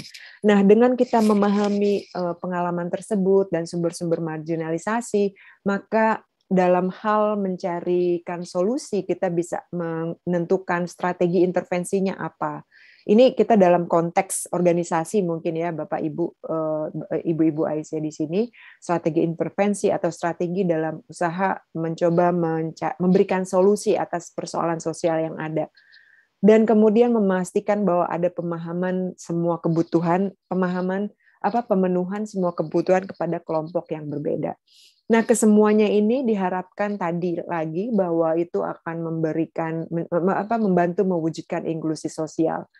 Nah, solusinya jadi ketika kita merumuskan sebuah strategi, mungkin selama ini kita eh, kalau kita, tapi tadi kalau saya dengar dari pemaparan Ibu Nur dan Ibu Tri juga ya, kalau Aisyah itu menurut saya sudah sudah sistemik gitu ya, sudah solusinya yang diberikan itu sudah sistemik, sudah bukan lagi hanya eh, memberikan pemenuhan atau penguatan terhadap perempuan gitu, tetapi juga sudah tadi melakukan penguatan terhadap kelompok disabilitas kepada anak, apalagi dengan uh, jaringan sekolah dari mulai uh, apa sekolah dasar, sorry sorry, dari TK bahkan kelompok bermainnya sudah ada, itu kan upaya pemenuhan hak anak. Jadi itu sudah sudah solusinya sudah sistemik gitu. Nah itu memang salah satu ciri dari uh, pendekatan Getsi Kemudian eh, kebijakan yang dihasilkan ketika kita mengikuti prinsip-prinsip tadi adalah memberi kemanfaatan bagi semua, tidak hanya kepada satu kelompok tertentu saja, tidak hanya kepada perempuan, tetapi juga kepada anak, tapi juga kepada kelompok disabilitas, kepada orang yang kelompok yang agamanya berbeda seperti cerita tadi sekolah Muhammadiyah di Papua misalnya dan di misalnya di Flores di NTT saya juga cerita, mendengar sudah banyak sekolah dan layanan kesehatan di sana. Kemudian memastikan juga layanan aksesibel dan bermanfaat. Saya misalnya pernah membaca Ibu Tri mengatakan bahwa seluruh website Aisyah sekarang sudah aksesibel, teman-teman disabilitas netra sekarang sudah bisa mengakses. Itu adalah usaha untuk memastikan bahwa tidak ada orang yang tidak ada kelompok yang tidak bisa mengakses pengetahuan, informasi dan lain sebagainya. Eh, ada uh, prinsip-prinsip Getsi yang uh, juga uh, ad, tadi sebagian sudah saya sampaikan sebenarnya. Kalau kita lihat juga uh, di sini ya, uh, tadi ketika saya bicara soal jangan ada menimbulkan rasa takut gitu ya, itu sesuai dengan prinsip Getsi yang disebut dengan do no harm. Uh, jangan melukai orang, jangan mengecilkan perasaan orang lain gitu ya, di mana pun kita berinteraksi Kemudian uh, analisis Getsi juga uh, membuat kita selalu bisa melihat uh, pro apa struktur kekuasaan ya, struktur kekuasaan di level paling dasar, paling bawah sekalipun di level kelurahan sampai RT RW gitu ya. ketika ada satu kebijakan kita bisa lihat apakah kebijakan uh, yang dikeluarkan oleh penguasa di di, di kelurahan itu betul-betul sudah me, mewadahi semua uh, semua kebutuhan warganya atau belum. Dan kalau belum apa? Kenapa gitu? Jangan-jangan karena uh, orang yang berada di posisi penguasa ini punya masih belum inklusif gitu ya, masih belum bisa menerima perbedaan, masih menganggap kelompok minoritas tidak perlu mendapatkan uh, manfaat gitu karena mereka toh jumlahnya kecil gitu. Jadi kenapa harus di, di, di dipedulikan gitu. Misalnya di kampus-kampus banyak cerita misalnya, oh ya kampus kami memang belum ada uh, remnya gitu, tapi karena memang belum ada mahasiswa yang punya uh, disabilitas, belum ada yang pakai wheelchair ke kampus. Tapi kalau nanti sudah ada, baru kita buat. Nah, seharusnya bukan seperti itu. Jangan-jangan orang tidak bisa sekolah atau masuk ke universitas atau masuk ke sekolah karena orang tersebut pakai wheelchair adalah karena dia tahu. Jangankan masuk ke kelas, tetapi sampai di gerbang kampus pun sudah tidak mungkin jalan gitu ya, sudah tidak mungkin. Nah, nah ini ini adalah uh, yang harus kita pastikan gitu. Karena dengan tidak adanya akses maka partisipasi dan keterwakilan menjadi tidak ada. Kemudian menjadi, akhirnya tidak inklusif ya eh, dan kemudian eh, prinsip lain yang ada di GETSI juga ada interseksionality eh, tadi sebenarnya ada beberapa teman-teman yang sudah menyampaikan ibu Islam juga menyampaikan interseksionalitas seperti apa. Nah ke semua prinsip-prinsip GETSI ini sebenarnya tidak hanya bisa kita adopsi untuk ketika kita misalnya mengajar atau kita melakukan penelitian, tetapi juga atau melakukan apa kegiatan organisasi, tetapi juga menguatkan organisasi kita sendiri ya. Dalam hal ini misalnya organisasi Aisyah gitu. Kalau organisasi Aisyahnya sudah inklusif gitu ya, dan itu memang sudah terjadi gitu ya dan itu perlu terus di, di, dikuatkan. Mungkin uh, mungkin uh, bisa di, di apa ya disebarkan atau ditransfer dengan organisasi-organisasi lain yang menjadi mitra Aisyah misalnya gitu. Dan itu uh, istilahnya mungkin sederhananya hal-hal yang baik itu biasanya bisa dengan mudah kita uh, share kita bisa Eh, perlihatkan sebagai satu contoh kesuksesan yang mungkin bisa menjadi inspirasi buat partner uh, Aisyah dalam bekerja sama dengan organisasi atau pemerintah lokal misalnya. Dan tadi saya bilang yang sudah saya sebutkan aksesibilitas. Uh, tinggal berapa menit lagi ya Bu uh, Bu Islam? 7 menit lagi. Berapa? 7 menit. Satu? 7 menit, Bu. Satu ya? Tujuh, tujuh. Oh, tujuh menit lagi. Oke. Saya akan coba uh, sampaikan. Jadi tadi uh, salah satu prinsip yang di Getsi juga adalah cara berpikir interseksionalitas ya. Mungkin saya sedikit saja Kenapa interseksionalitas? Sebenarnya tadi kata GETSI, gender equality, disability, social inclusion itu semuanya punya suatu lapisan-lapisan yang saling bersandingan gitu ya. Dalam bahasa Inggrisnya itu disebut uh, interseksional. Jadi sesuatu yang bersandingan dan ada lapisan yang beririsan gitu ya. Jadi uh, satu hal inti dan juga penting yang bisa kita apa namanya ingat atau kita menjadi inspirasi ketika uh, melakukan pendekatan Getsi adalah mengingat bahwa setiap tadi identitas yang multi multi identitas tadi semuanya ber, bersandingan, semuanya berlapis-lapis. Bahwa penindasan diskriminasi itu bisa disebabkan oleh lebih dari satu sumber. Uh, tadi kata ibu uh, ibu Islam misalnya uh, identitas dia sebagai anak, ya kemudian identitas dia sebagai anak perempuan, ya mungkin ceritanya akan berbeda kita nggak tahu. Kalau anak tersebut adalah anak laki-laki, kemudian disabilitas, ya jadi ada uh, semuanya ber, ber ini. Yang menarik juga bisa kita lihat latar belakang sosial ekonomi keluarga tersebut. Kalau dia menerima paket atau penerima manfaat keluarga harapan, berarti dari cerita tersebut saya bisa berasumsi bahwa keluarga tersebut lahir dari atau berada di dalam sosial ekonomi yang uh, tidak begitu mampu gitu ya atau atau iya tidak mungkin tidak begitu mampu. Mungkin lain ceritanya juga kalau dia adalah latar belakangnya uh, keluarga mampu. Bisa dilihat juga mungkin karena dia juga tinggalnya di tempat ya ada struktur sosial budaya yang masih menganggap anak disabilitas atau orang dengan disabilitas tidak perlu sekolah gitu ya. Di rumah saja gitu ya. Jadi jadi seperti itu. Jadi ketika kita melihat ada contoh atau kejadian tersebut kita dengan Getsi dan interseksionalitas kita bisa mengidentifikasi apa sumber-sumber yang sampai membuat anak tersebut uh, tidak bisa mendapatkan haknya untuk sekolah ya jangan-jangan keputusan orang tua untuk uh, menggunakan dana PKH tadi malah untuk membayar anak mereka yang lain. Itu juga karena tadi ada ada sistem budaya ada apa namanya pemahaman di dalam uh, masyarakat di tempat mereka tinggal bahwa anak dengan disabilitas itu uh, adalah anak yang uh, mendapatkan apa ya uh, anugerah khusus dari Tuhan gitu kan. Itu banyak ya dalam penelitian saya soal disabilitas. Sehingga dia tidak perlu sekolah. Karena di rumah saja juga sudah sudah sudah bagus sudah tidak ada apa tidak masalah gitu. Nah pendekatan interseksionalitas itu uh, yang ada di belakang Getsi tadi ya. Jadi selalu kita melihat bahwa identitas seseorang itu sangat multidimensional kemudian sumber-sumber marginalisasi, sumber-sumber uh, hal yang membuat orang takut dan tertindas juga banyak sekali uh, apa namanya sumbernya.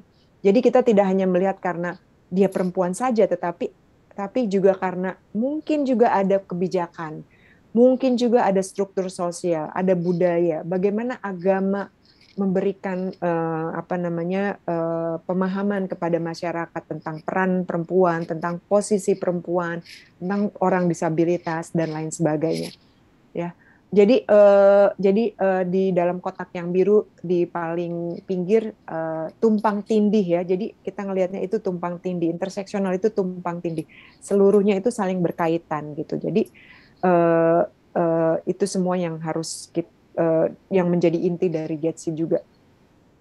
Nah, multi identitas tadi, uh, jadi satu orang itu bisa punya macam-macam ya di dalam dirinya. Uh, identitasnya perempuan. Nah, ini lingkaran ini bisa kita pindah-pindahin aja gitu ya, ibu-ibu hadirin partisipan seminar ini apa namanya tapi kira-kira itu ya satu individu itu melekat pada dirinya ragam ragam identitas dan semuanya itu akan memberi efek yang berbeda kepada bagaimana seseorang uh, haknya dipenuhi, bagaimana seseorang uh, mendapatkan akses ya uh, itu di, di, di, di, dipengaruhi oleh keragaman uh, keragaman ini gitu ya. Nah di dalam kita melakukan analisa analisa Getsi makanya kita harus selalu uh, apa namanya uh, breaking down breaking down jadi kayak diturunkan terus diturunkan terus. Apa nih yang membuat satu kelompok atau atau apa apa uh, efek dari sebuah kebijakan terhadap setiap kelompok gitu. Jadi uh, mengajak kita untuk tidak hanya stop pada uh, perempuan gitu ya uh, pada kelompok disabilitas tapi kita juga cari lagi apa gitu ya kelompok mana lagi yang yang hidupnya terpengaruh oleh uh, kebijakan oleh sistem budaya oleh uh, apa namanya uh, oleh keputusan-keputusan yang ada di sekitar kita ya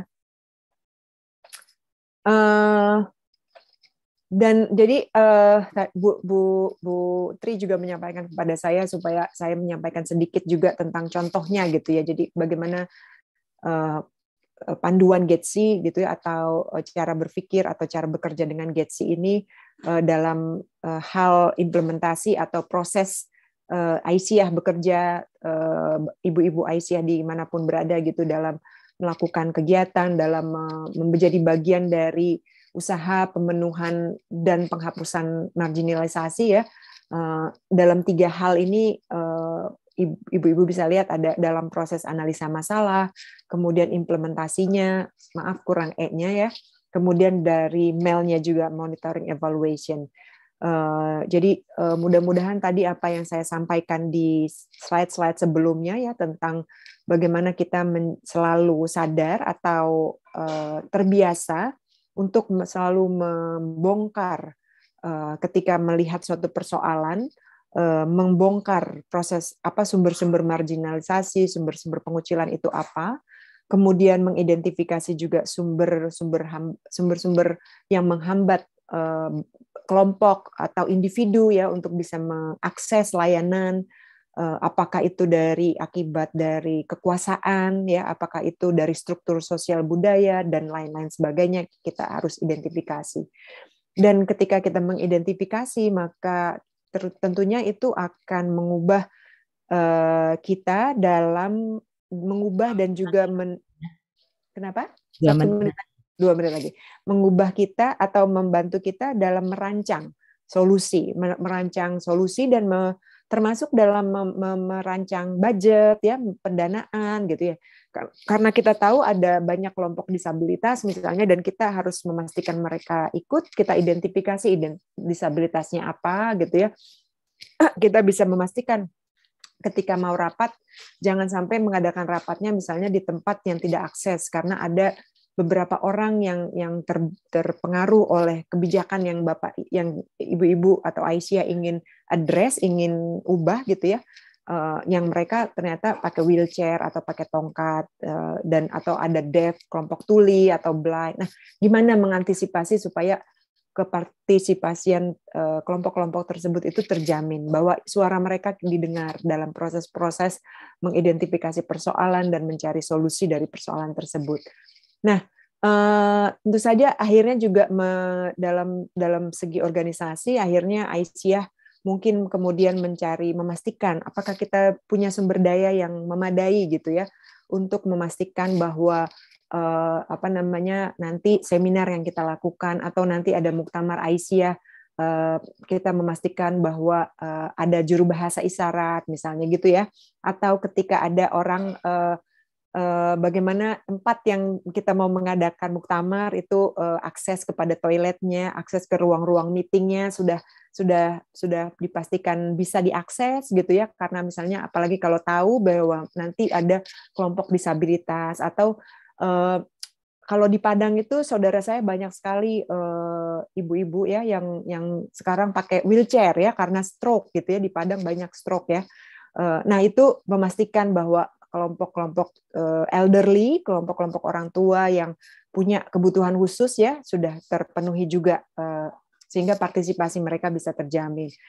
Nah, kalau misalnya tidak ada kan bisa kemudian menentukan oh kita butuh sesuatu, kita butuh A, B, C, D. Jadi di dalam implementasi impact dari proses analisa masalah yang menggunakan analisis Getsi membuat kita sadar bahwa kita harus memenuhi kebutuhan tersebut. Kemudian dalam melakukan advokasi juga kita memastikan seperti tadi pelatihan, kemudian website atau dokumen yang kita mau sebarkan itu ke ke orang-orang yang misalnya eh, blind ya, yang yang netra bisa dipastikan akses bisa diakses. Kalau dia pakai uh, di handphone gitu ya bisa dibaca oleh uh, oleh uh, apa namanya bantuan dari handphone ya biasanya ada itu bantuannya dan kemudian uh, yang terakhir dengan monitoring evaluation adalah bahwa indikator yang tadi kita buat ya di awal dengan setelah menganalisa persoalan dan masalah dan uh, strategi implementasi, kita juga bisa pastikan bahwa itu semua uh, bisa terpenuhi. Uh, mungkin Uh, itu saja uh, Bu Islam dari saya. Uh, nanti uh, mudah-mudahan kalau ada pertanyaan dari Ibu-ibu Aisyah dan saya bisa menjawab akan saya coba uh, jawab.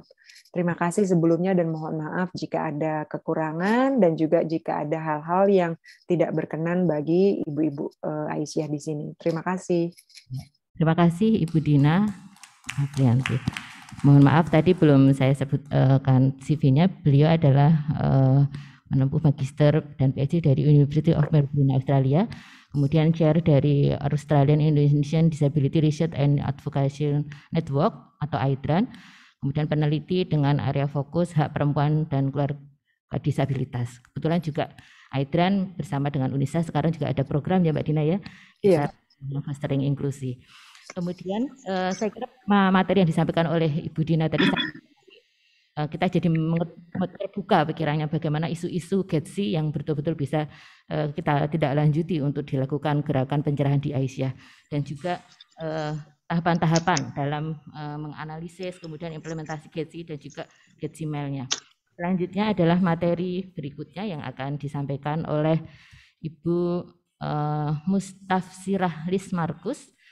Uh, beliau lahir di Ciamis 17 Februari 1958, alamat Jalan Bukit Nirwana Raya 19, BNR Bogor 16132. Kemudian uh, instansi beliau sekarang di rumah kita bersama. Ibu Lis Markus ini uh, pengalaman dalam penelitian gender sudah tidak bisa kita lakukan, sangat banyak sekali penelitian-penelitian yang sudah dihasilkan, termasuk juga saya pernah baca tulisannya tentang gender disabilitas juga, intersection, saya pernah baca tulisan dari Mbak Lis Markus juga. Untuk itu, untuk mempersingkat waktu, kami persilakan kepada Ibu Lis Markus untuk membawakan materi tentang uh, stunting dan perkawinan anak dalam perspektif gizi. Waktu dan layar kami persilahkan. Terima kasih Mbak uh, Islamiatur Rahma. Ketemu lagi di forum ini. Bismillahirrahmanirrahim. Assalamualaikum warahmatullahi wabarakatuh. Uh, sebetulnya menjadi uh, pembicara kedua itu Eh, lebih ringan ya karena sebagian besar sudah disampaikan oleh pembicara pertama Ibu Dina. Saya ingin melanjutkan uh, apa yang sudah disampaikan oleh Ibu Dina. Saya punya delapan slides, tapi uh, tiga di antaranya sebetulnya sudah di bahas dengan sangat uh, apa namanya terang benderang dari Ibu Dina. Jadi Ibu, uh, saya akan fokus pada bagaimana menggunakan GETSI yang tadi sudah dijelaskan oleh Ibu Dina dalam program pencegahan kawin anak dan stunting. Kawin anak sebetulnya uh, tadi Ibu Ibu Nurjannah juga sudah menyampaikan dua tema itu adalah tema yang uh, sejak awal berdirinya Muhammadiyah dan Aisyah itu menjadi perhatian. Kalau misalnya ibu-ibu uh, yang sudah sepuh pasti ingat ya definisi eh bukan definisi. Zaman dulu itu ada uh, apa namanya nama rumah sakit itu PKO ya PKO OE ya soalnya zaman dulu kan uh, ejaan yang lama tuh PKO PKO itu uh, artinya atau kepanjangannya adalah pertolongan kalau saya tidak salah ya kesengsaraan umat. Uh, kenapa menggunakan istilah itu? Itu sangat uh, kuat terkait dengan background uh, historical background situasi di Indonesia ketika itu uh, sebelum era kemerdekaan. Jadi di tahun-tahun uh, awal tahun akhir tahun 30-an uh, masuk ke masa uh, apa jajahan Jepang lalu ke masa kemerdekaan itu situasinya sangat memprihatinkan sangat uh, menyedihkan karena kebijakan politik uh, kolonial. Uh, misalnya zaman uh, Belanda itu munculnya stunting atau munculnya uh, anak yang uh, kurang gizi uh, apa kuntet istilah dalam bahasa Jawa mungkin ya itu disebabkan karena uh, pemerintah Belanda uh, meskipun mereka mengeluarkan politik etis Uh, tetapi sebetulnya melakukan penghisapan luar biasa melalui kebijakan pajak uh, blasting yang menyebabkan kemudian uh, uh, masyarakat itu atau rakyat petani terutama itu mengalami uh, kemiskinan yang luar biasa. Dan dalam struktur keluarga yang timpang, di mana ada orang tua berhadapan-hadapan dengan anak, ada anak laki-laki berhadapan dengan anak perempuan, ada anak yang non-disable dengan disable dalam posisi yang tidak seimbang, itu menyebabkan mereka yang paling uh, mustadafin dalam definisinya Aisyah Muhammadiyah itu yang paling rentan mengalami situasi yang buruk gitu ya. Nah, per definisi sebetulnya kawin anak eh, ada pemaknaan-pemaknaan yang eh, tidak selalu sama ya. Eh, sebentar Mbak masih nomor satu. Terima kasih kepada uh, panitia. Jadi apa itu kawin anak? Itu uh, kalau kita menggunakan pendekatan hukum, maka itu adalah satu uh, uh, perkawinan secara hukum gitu ya, bukan hubungan seksualnya, tetapi uh, menikah, uh, berkawin baik secara legal atau ilegal secara hukum itu pada umur kalau undang-undang yang sekarang, undang-undang yang direvisi, undang-undang perkawinan yang direvisi pada uh, umur 19 tahun karena undang-undangnya sudah mengubah uh, undang-undang nomor 16 tahun 19 uh, usia kawin anak perempuan itu 19 tahun sama dengan laki-laki. Uh, Lalu apa itu stunting? Tadi saya sudah mengatakan stunting adalah uh, situasi anak yang ada dua nih yang bisa dijadikan ukuran. Dia pendek menurut usianya atau eh, dan gitu ya kurus menurut ting menurut tinggi badannya. Dia pendek menurut usianya, dia kurus menurut tinggi badannya. Itu disebut eh, anak stunting.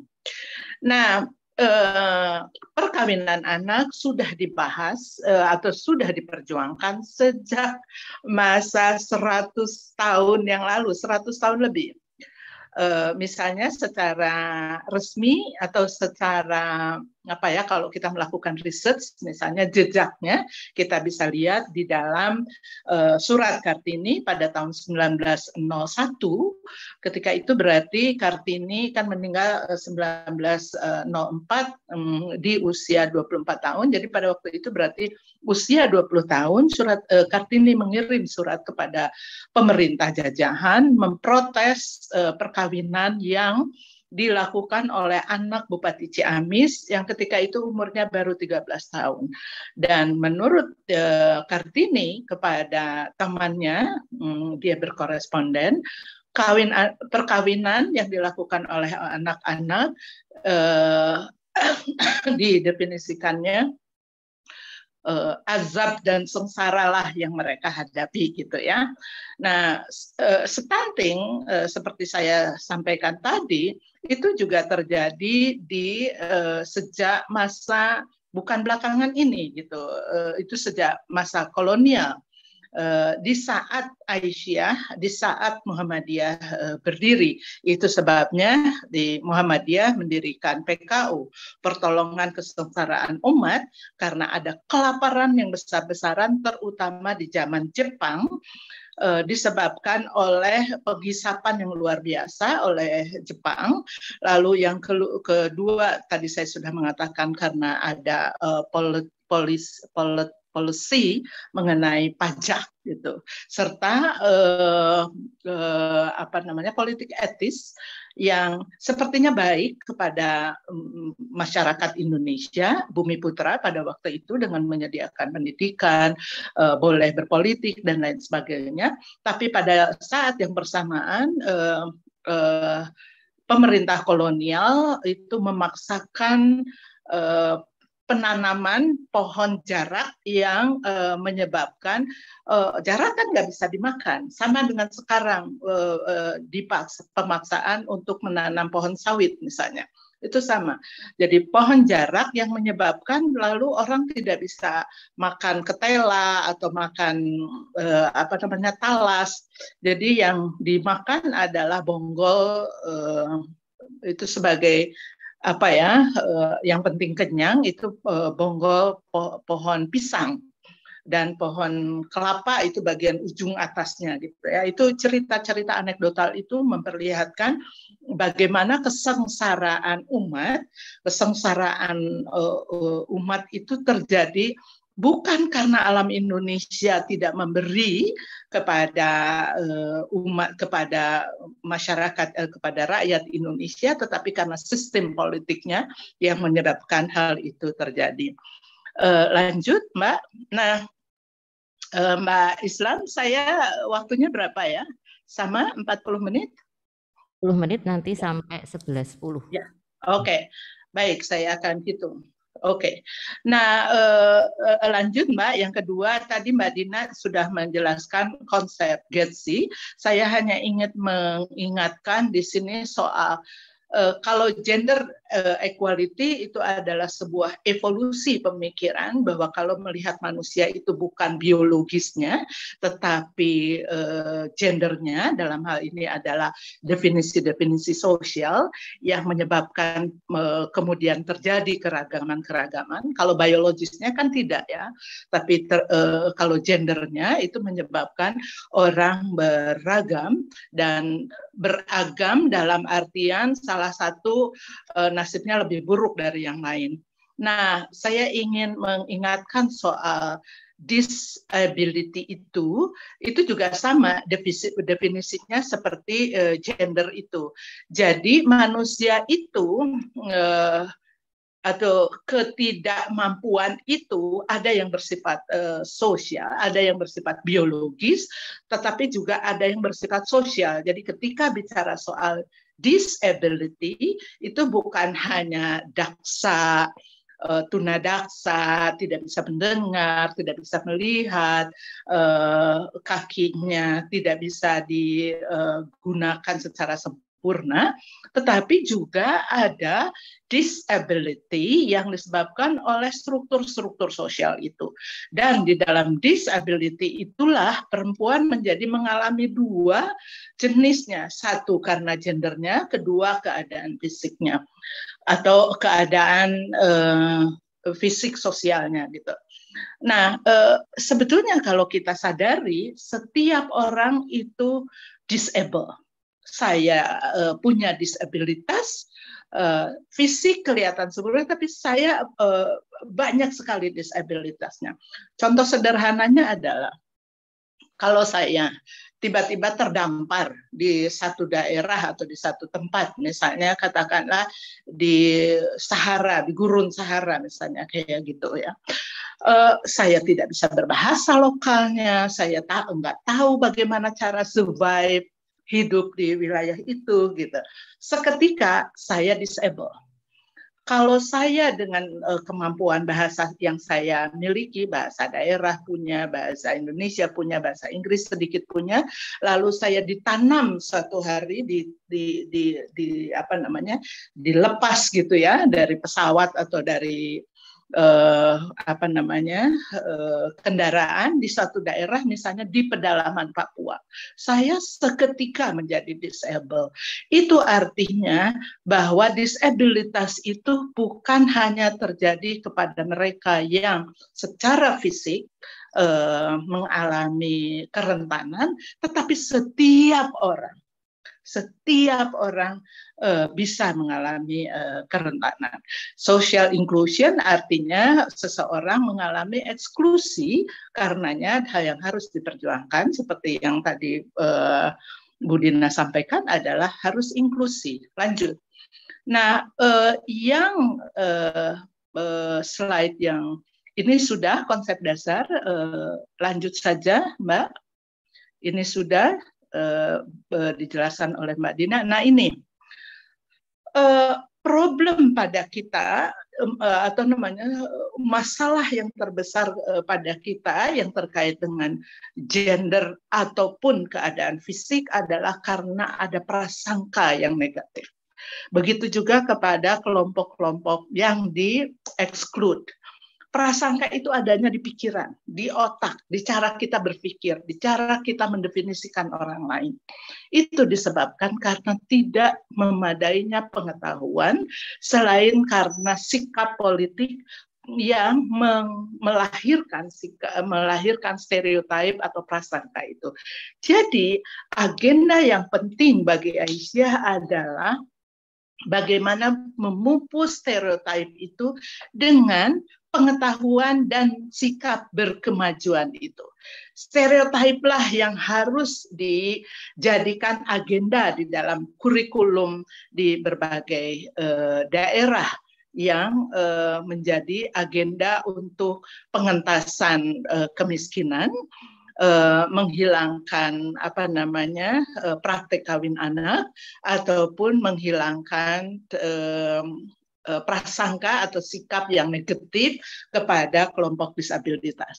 Saya akan sebutkan beberapa daerah ya yang merupakan uh, wilayah yang cukup parah terkait dengan stuntingnya ya. Uh, NTB itu uh, uh, sangat mengherankan. Nanti dulu ya Jeng.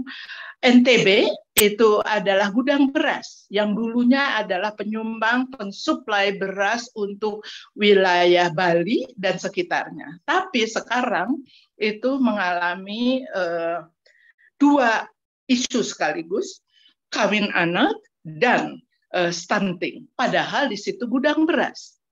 NTT Sulawesi Barat, Sulbar, Gorontalo, Aceh, penyumbang terbesar untuk uh, komoditas tadinya untuk ekstraktif dan kemudian minyak tapi mengalami kemiskinan mengalami kemiskinan yang parah dan itu memunculkan problem stunting.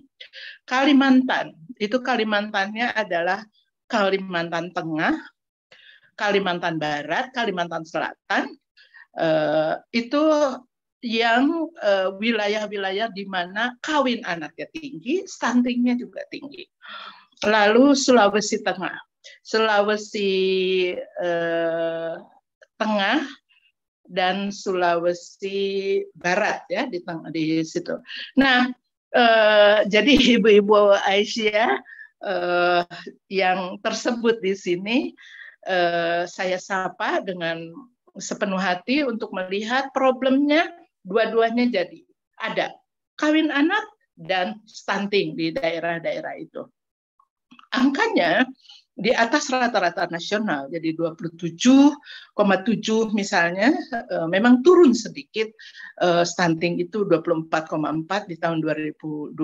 Tapi nanti saya akan saya jelaskan bagaimana dampaknya kepada perempuan. Nah, oke, okay. saya balik ke soal stereotip itu. Jadi agenda Aisyah untuk menghapuskan untuk strategi eh, apa namanya mengatasi stunting dan eh, kawin anak itu eh, adalah bukan hanya memberi makanan gizi tambahan begitu ya, bukan hanya hal-hal yang semacam itu, tetapi eh, adalah secara pemikiran dalam dakwah-dakwahnya dalam uh, perjuangan Aisyah itu adalah menghapuskan stereotip. Kenapa? Karena silakan lanjut Jeng. Stereotip ini bermasalah karena ini. Dia memunculkan persoalan empat atau lima bentuk ketidakadilan. Silakan Jeng. Satu uh, ini ya, setelah stereotip yang jadi masalah Eh, mereka yang didiskriminasi itu mengalami subordinasi, menganggap dianggap lebih rendah daripada yang lain, nomor dua daripada yang nomor satu. Dia selalu uh, tidak dihitung gitu ya. Lanjut. Dan padahal subordinasi itu berdampak kepada proses pemiskinan. Begitu di nomor dua kan, begitu tidak dianggap, begitu tidak diberi akses, seperti yang Ibu Dina sampaikan, dia mengalami proses pemiskinan. Ya. Uh, lanjut dan padahal subordinasi dan marginalisasi itu lanjut yang itu memunculkan pada perempuan itu hmm, ini yang paling uh, berbahaya adalah kekerasan dan yang terakhir dia harus uh, mengalami pekerjaan yang terus menerus antara kerja di rumah kerja di luar rumah mengurus rumah tangga di luar harus mencari nafkah dan lain sebagainya ini yang pertama-tama kita lihat ketika kita bicara soal GETSI itu bagian G-nya. Gender equality itu karena ada gender uh, inequality. Nah, cara melihat gender inequality ini ini tolok ukurnya. Nah, apa uh, uh, apa saja yang uh, kita bisa lihat dengan uh, interseksionalitas yang tadi sudah disampaikan oleh Budina. Lanjut. Ini adalah karena praktek ini memunculkan diskriminasi, sementara basis diskriminasinya silakan itu adalah berbasis lanjut berbasis perbedaan jenis kelamin sosial dan jenis kelamin biologis, lanjut, perbedaan keadaan fisik, perbedaan umur, jadi orang dewasa selalu sok tahu kepada anak-anak ataupun kepada diva, kepada lansia.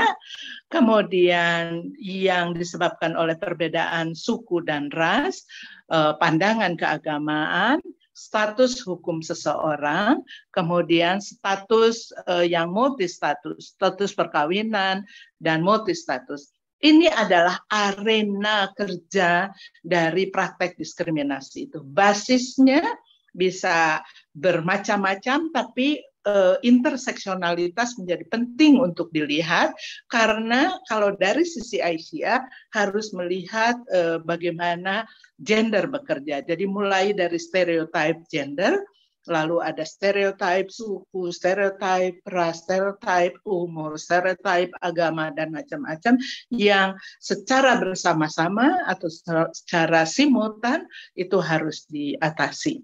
Lanjut. Oke. Nah, eh, bagaimana eh, ini tadi Mbak Dina sudah menyampaikan mengapa kita menggunakan pendekatan, gitu itu pendekatan tetapi juga cara kerja ya. Mengapa kita menggunakan ini? Sebetulnya ini adalah sebuah evolusi pemikiran dalam mengenali eh, kelompok-kelompok eksklusif yang termarginalkan. Jadi setiap saat uh, akan berkembang siapa yang dieksklusi itu. Dan dalam wilayah yang berbeda bisa uh, berbeda. Misalnya gini, di NTT kalau dilihat eksklusi agama uh, umat Islam bisa menjadi excluded gitu ya uh, dibandingkan dengan yang uh, mayoritas di sana gitu. Jadi siapa pun bisa mengalami proses itu gitu ya. Jadi ada perlakuan yang membeda-bedakan ya kepada kelompok marginal akibat prasangka tadi eh, keprasangka suku, ras, agama, umur, keadaan fisik, dan lain sebagainya. Lanjut.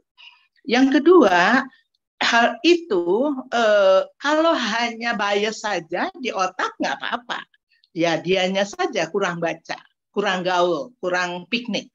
Tetapi kalau dia mengambil keputusan, keputusannya diskriminatif. Itu yang bahaya diskriminasi berbasis gender karena prasangka itu diwujudkan dalam praktek oh dia begini-begini udah nggak usah dibantu. Oh eh, kelompok itu pemalas usah nggak usah. Oh dia berangasan nggak usah misalnya kayak itu. Ini yang kita lihat misalnya dalam konflik etnis di eh, di Kalimantan tempo hari. Itu ada prasangka kepada suku tertentu sehingga bukan hanya tindakan diskriminasi juga tapi juga membenarkan tindakan kekerasannya.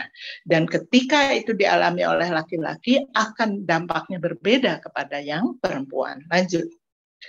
Yang eh, mengapa Getsi dipersoalkan, eh, hal itu memunculkan kesadaran dan kehendak untuk melakukan perubahan eh, antara lain bagaimana agar pembangunan itu bisa diterima secara eh, merata dengan bukan persamaan tapi justru mengenali keragaman-keragaman yang dimiliki oleh uh, masyarakat Indonesia baik keragaman yang bersifat alamiah yang bersifat alamiah karena bawaannya atau karena konstruksi sosialnya. Jadi dua itu harus selalu dipegang ada yang bersifat alamiah uh, given uh, yang menyebabkan orang didiskriminasi karena keadaannya tapi juga karena konstruksi sosialnya, karena dia terdiskriminasi, karena dia eh, karena ada pikiran bias, seseorang kemudian mengalami diskriminasi dan kesadaran itu yang harus digunakan oleh Aisyah ketika mendesain program untuk mengatasi stunting dan kawin anak. Lanjut. Nah, eh, Uh, jadi uh, juga dimungkinkan karena Aisyah sendiri secara internal telah memiliki kebijakan Aisyah dan Muhammadiyah uh, untuk pencegahan perkawinan anak. Misalnya saya sudah ketemu dengan pimpinan uh, dan juga saya tahu persis kebijakannya Aisyah untuk mendukung pemerintah dalam usaha eh, apa namanya eh, penghapusan atau pengurangan praktek perkawinan anak ya.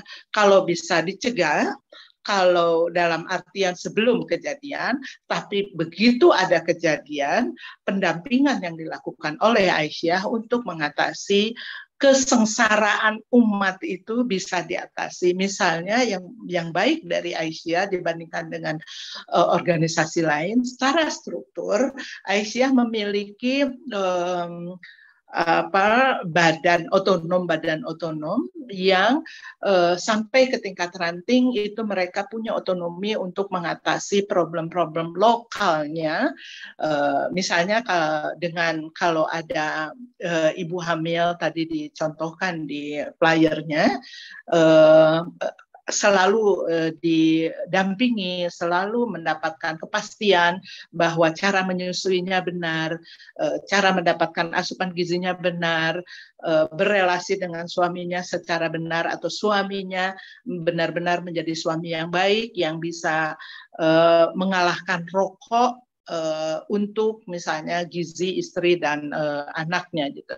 Jadi kebijakan yang in, uh, inklusif, yang anti diskriminasi itu dikembangkan oleh pemerintah, tetapi Aisyah sendiri punya kebijakan untuk uh, mengimplementasikannya di dalam struktur dari pusat sampai ke ranting. Itu sesuatu yang uh, dimungkinkan uh, karena anugerah yang dimiliki oleh Aisyah ya sebagai organisasi tertua yang terus uh, berkembang gitu ya.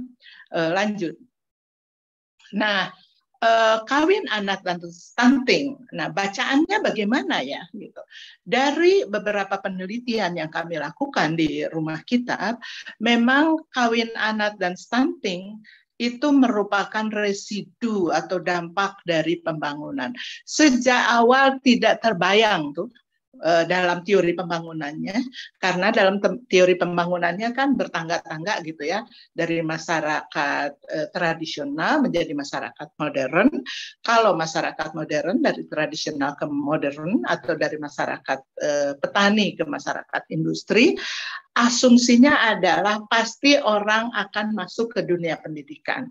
Makanya secara pasti eh, ada akselerasi itu, ada perbedaan uh, minat, uh, keputusan dari orang tua dengan anaknya. Kalau orang tuanya dikawin anak, uh, seharusnya dalam teori pembangunan itu yang anaknya tidak akan kawin anak. Tapi faktanya sampai saat ini Indonesia adalah penyumbang terbesar kedua di Southeast Asia, di apa Asia Asia Tenggara, tetapi juga ter, nomor delapan masih ya, jadi ter, tertinggi ya yang memberi sumbangan pada perkawinan anak. Ibu uh, Leni mengatakan uh, bahwa uh, dalam 11 tahun uh, terakhir memang uh, apa namanya ada stagnasi dalam usaha untuk uh, menurunkan perkawinan anak karena berkorelasi dengan kemiskinan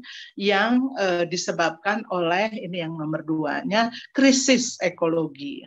Jadi krisis ekologi Anda tadi saya tadi sudah mengatakan NTB, NTT, Sulbar, Gorontalo, eh, apa namanya eh, Aceh, Kalimantan itu adalah daerah-daerah eh, kalau di Jawa itu Jawa Barat, daerah-daerah yang krisis ekologinya itu sangat sangat nyata.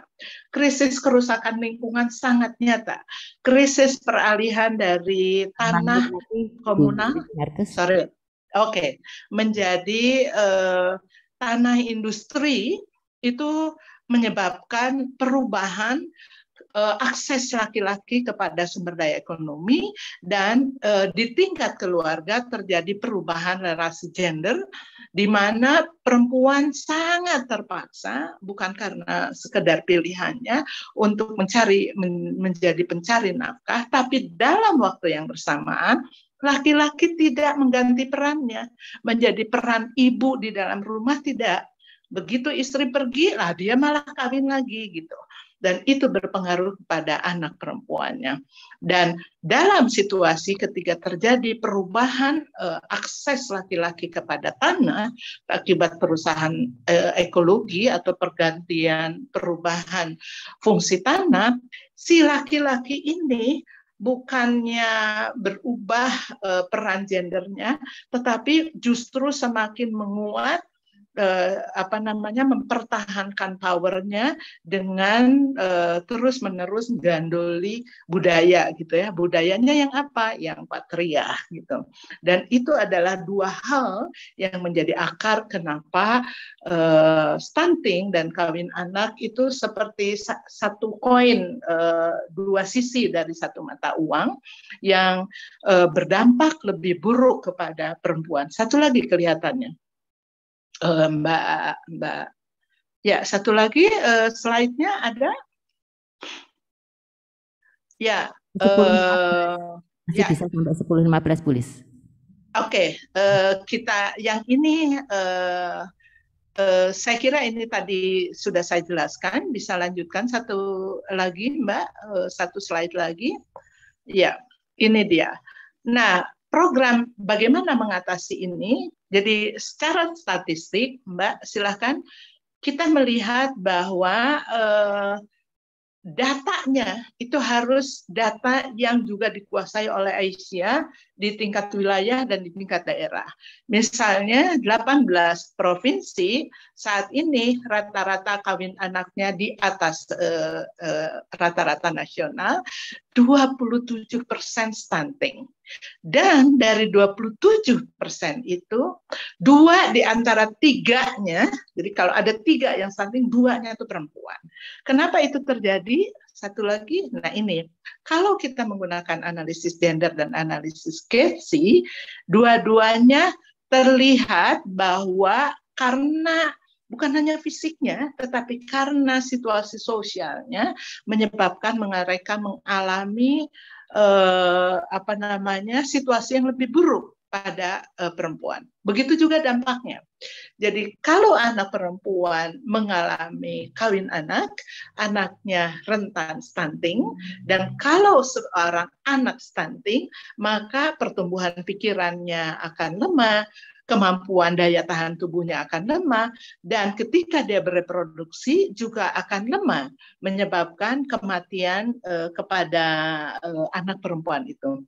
Jadi kalau menggunakan analisis gender, kita akan melihat stunting berakibat kepada laki dan perempuan, tapi berdampak lebih buruk pada perempuan. Sebagai jalan keluarnya, usulan saya sangat umum di sini memahami triangulasi perubahan yang dipegang oleh Aisyah. Apa yang ingin diubah? Struktur kah? Culture kah? Atau uh, regulasinya gitu. Nah tiga-tiganya itu harus uh, beriringan. Saya paham dalam peran dakwahnya Aisyah tentu saja faktor kultur itu menjadi sangat penting. Tapi dalam uh, tadi lingkaran-lingkaran pertama yang saya sampaikan memang stereotip gender dan stereotip tentang disabilitas tentang keadaan yang menyebabkan satu kelompok lebih rendah dari yang lain itu harus menjadi mata kurikulum dari pengkaderan Aisyah. Saya kira itu dari saya Mbak Islam. Terima kasih banyak. Mudah-mudahan ada manfaatnya. Eh, selamat siang. Assalamualaikum warahmatullahi wabarakatuh.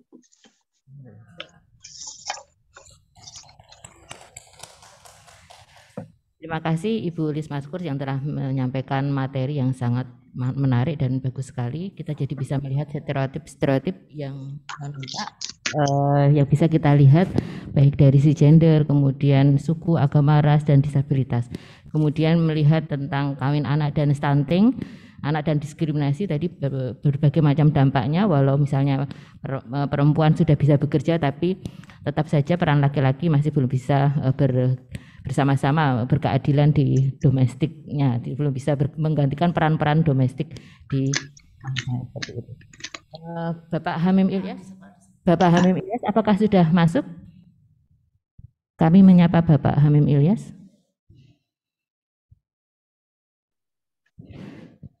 Oh, alhamdulillah sudah masuk.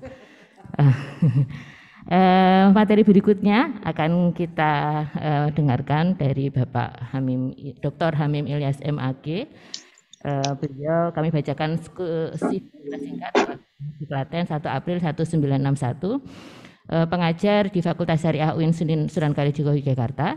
Kemudian eh, pendidikan beliau jadi saya bacakan yang terakhir karena banyak ini ada sarjana muda Fakultas Syariah Yayan Suka, kemudian sarjana lengkap jurusan tafsir, S2 di Yayan Suka, kemudian S3 di Yayan Suka. Pengalaman bekerja mengajar di Fakultas Syariah Yayan Suka 1987 sampai sekarang, mengajar di program Pasca Sarjana UIN Sunan Kalijaga Yogyakarta 2002 sampai sekarang, mengajar di Magister Studi Islam MSI Universitas Islam Indonesia UI Yogyakarta sampai sekarang mengajar di Magister uh, Studi Islam di UMY sampai sekarang. Uh, organisasi Wakil Ketua Majelis Tarjih dan Tajdid Pimpinan Pusat Muhammadiyah. Bapak Hamim Ilyas akan menyampaikan materi dakwah melintas batas pada kelompok disabilitas dan minoritas perspektif Islam berkemajuan. Untuk mempersingkat waktu, kami persilakan waktu dan layar kepada Bapak Dr. Habib Ilyas. Monggo Pak. Terima kasih Mbak Islamiati. Assalamualaikum warahmatullahi wabarakatuh. Waalaikumsalam. Ibu-ibu pimpinan Aisyah mulai dari tingkat pusat sampai daerah dengan segenap jajarannya yang saya hormati teman-teman pembicara Mbak Lis dan Mbak Dina yang saya banggakan serta ibu-ibu peserta seminar nasional yang saya hormati. Alhamdulillah pada siang hari ini kita dapat berjumpa dalam forum seminar. Saya mohon maaf telah bergabung karena ada jadwal mengajar. Dan untuk seminar kita saya sudah menyiapkan outline dengan judul seperti yang disampaikan oleh panitia, yakni dakwah melintas batas pada kelompok disabilitas dan minoritas perspektif Islam berkemajuan. Presentasi saya, saya mulai dengan pendahuluan. Di bawah ke bawah. Ya. Islam berkemajuan yang dianut Muhammadiyah dalam perspektif ilmu tauhid merupakan madhab yang jelas dan lengkap ajaran-ajarannya. Jadi tidak seperti yang terkesan atau dikesankan selama ini, Islam berkemajuan itu tidak jelas ajarannya. Sebetulnya amat sangat jelas. Kejelasan dan kelengkapan ajaran-ajaran tersebut terdapat dalam ya dalam putusan-putusan resmi organisasi. Al-usul asab'ah, tujuh ajaran dasar. Ini terdapat dalam mukaddimah anggaran dasar. Aliran-aliran kalam, Mu'tazilah, Asy'ariyah, terus Wahabiyah, Salafiyah, Ikhwan Muslimun, itu memiliki ajaran-ajaran dasar ini. Dan kita, Alhamdulillah, memiliki tujuh ajaran dasar. Yang itu terdapat dalam mukaddimah anggaran dasar, mulai dari ketuhanan sampai ke negaraan. Yang lain itu enggak ada. Kita itu punya ajaran dasar kenegaraan. Negara di mana Muhammadiyah berada harus dijadikan menjadi baldatun toyibat robun. Sehingga Indonesia kita jadikan baldatun thayyibatun warabun ghafur. Masyarakat Filipina itu ingin mendirikan Muhammadiyah di Filipina, maka nanti Muhammadiyah di Filipina itu juga menjadikan Filipina menjadi baldatun thayyibatun warabun ghafur. Itu ajaran dasar. Terus ada an-namadzid ad-diniyah al-khamsah. Lima paradigma keagamaan. Itu masalah lima. Nanti di antaranya akan saya singgung Masalah lima itu memiliki pandangan yang mendasar tentang agama Islam itu apa. Terus ada al-mabadi al-istiroji al-khamsah. Lima prinsip strategis dalam beragama Islam. Matan, keyakinan, dan cita-cita hidup Muhammadiyah. Syahsyatul Islam inda Muhammadiyah. Kepribadian umat Islam sepuluh kepribadian Muhammadiyah. Ini luar biasa loh. Yang pertama kepribadian Muhammadiyah itu Muhammadiyah beramal dan berjuang untuk mewujudkan perdamaian dan kesejahteraan. Sehingga ketika kita sekarang berbicara tentang disabilitas dan minoritas itu kita sebetulnya berjuang untuk mewujudkan kedamaian dan kesejahteraan disabilitas, penyandang disabilitas dan kaum minoritas. Itu kalau kita mengamalkan kepribadian Muhammadiyah. Terus kemudian ada Sumuliatul Islam Indah Muhammadiyah. Itu pedoman hidup Islami warga Muhammadiyah. Oke, lanjut.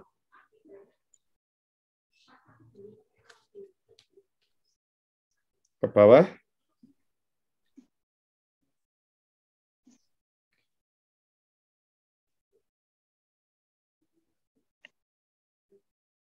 dalam masalah lima dan matan keyakinan dan cita-cita hidup Muhammadiyah terhadap terdapat pengertian agama Islam itu di atasnya sebetulnya yang jelas dan terukur. Nah, ini jadi pengertian agama Islam dalam Muhammadiyah itu jelas dan ada ukurannya. Yang ukurannya itu untuk mengukur kita beragama Islam Muhammadiyah itu berdasarkan ukuran itu benar atau tidak. Pengertian agama Islam dimaksud seharusnya menjadi isi dakwah yang menjadi identitas Muhammadiyah. Identitas Muhammadiyah itu kan gerakan Islam. Dakwah, amar ma'ruf, nahi mungkar. Sehingga gerakan dakwah Muhammadiyah, yang gerakan dakwah itu menjadi identitas Muhammadiyah, itu isinya adalah pengertian Islam dalam masalah lima dan cita-cita hidup Muhammadiyah itu. Dakwah bervisi Islam dengan pengertian tersebut ditujukan kepada semua subjek sasaran dakwah, termasuk kelompok disabilitas dan minoritas. Next. Ini pengertian Islam dalam Muhammadiyah. Adinul Islami ini agama Islam yang didakwahkan Nabi Muhammad SAW ialah apa yang diturunkan dalam Al-Quran dan yang terdapat dalam sunnah yang sahihah berupa perintah-perintah dan larangan-larangan serta petunjuk-petunjuk untuk kebaikan manusia di dunia dan di akhirat. Ini di masalah lima. Jadi Islam yang dianut Muhammadiyah itu Islam yang fungsional fungsionalnya itu untuk kebaikan manusia di dunia dan akhirat. Sehingga perintah yang ada dalam Al-Quran, hadis, itu tidak menjadi tujuan pada dirinya sendiri. Tapi perintah yang ada dalam Al-Quran dan hadis, larangan yang ada dalam Al-Quran dan hadis, itu untuk mewujudkan kebaikan manusia di dunia dan di akhirat.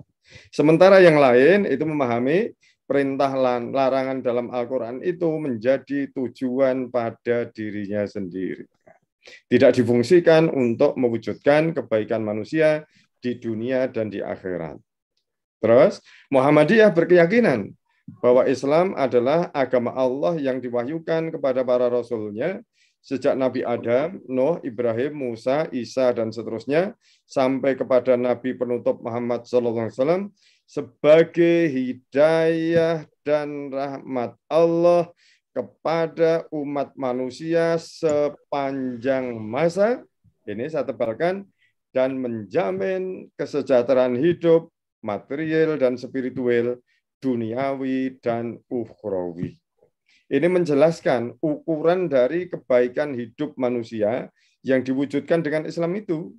Ukuran kebaikan hidup itu adalah kesejahteraan hidup material spiritual, duniawi dan ukhrawi.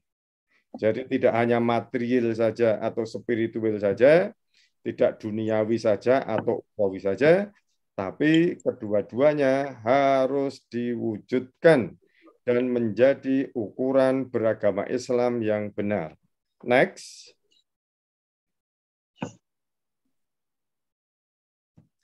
Secara doktrin, ini Muhammadiyah representasi otentik Islam rahmatan dan alamin. Ya. Secara doktrin, dengan pengertian Islam di atas, Muhammadiyah menjadi representasi otentik dari Islam rahmatan lil alamin. Hakikat Islam ini ditegaskan dalam Al-Anbiya 107. Wa ma arsalnaka illa rahmatal lil alamin. Rahmah ialah rikotun taktadil ihsana ilal marhumi. Perasaan lembut, cinta yang mendorong untuk memberikan kebaikan nyata kepada yang dikasihi. Berdasarkan pengertian ini, maka Islam diwahyukan Allah kepada Nabi Muhammad untuk mewujudkan kebaikan nyata bagi seluruh makhluk Allah. Kebaikan nyata dalam pengertian yang paling luas adalah hidup baik yang dalam An-Nahl 97 disebut hayah toyibah. Ayatnya Ibu-Ibu Aisyah ini ya. Dan hanya dapat diwujudkan dengan amal soleh dan menjadi orang beriman. Dalam tafsir sahabat, hayah tosibah meliputi tiga kriteria. Rezeki halal, ini tafsir Ibnu Abbas dalam satu riwayat, kona'ah atau kepuasan, tafsir Ali bin Abi Thalib, dan kebahagiaan. Ini tafsir Ibnu Abbas dalam riwayat yang lain. Itu kriteria hayat toibah yang ada dalam tafsir bil ma'thur dari kalangan sahabat. Next. Tafsir sahabat ini sejalan dengan perolehan iman dan amal soleh yang disebutkan dalam Al-Baqarah ayat 62 dan menjadi kriteria hayat toibah yang diajarkan Al-Quran. Kriteria yang pertama adalah lahum ajruhum inda rabbihim. Tafsirnya panjang, pengertiannya adalah sejahtera, sesejahtera, sejahteranya. Arafa hiyatu kulluha. Wala khaufun alaihim. Damai sedamai-damainya. Assalamu kulluha. Dan walahum yahzanun. Bahagia sebahagia bahagianya. As-sa'adatu kulluha di dunia dan di akhirat.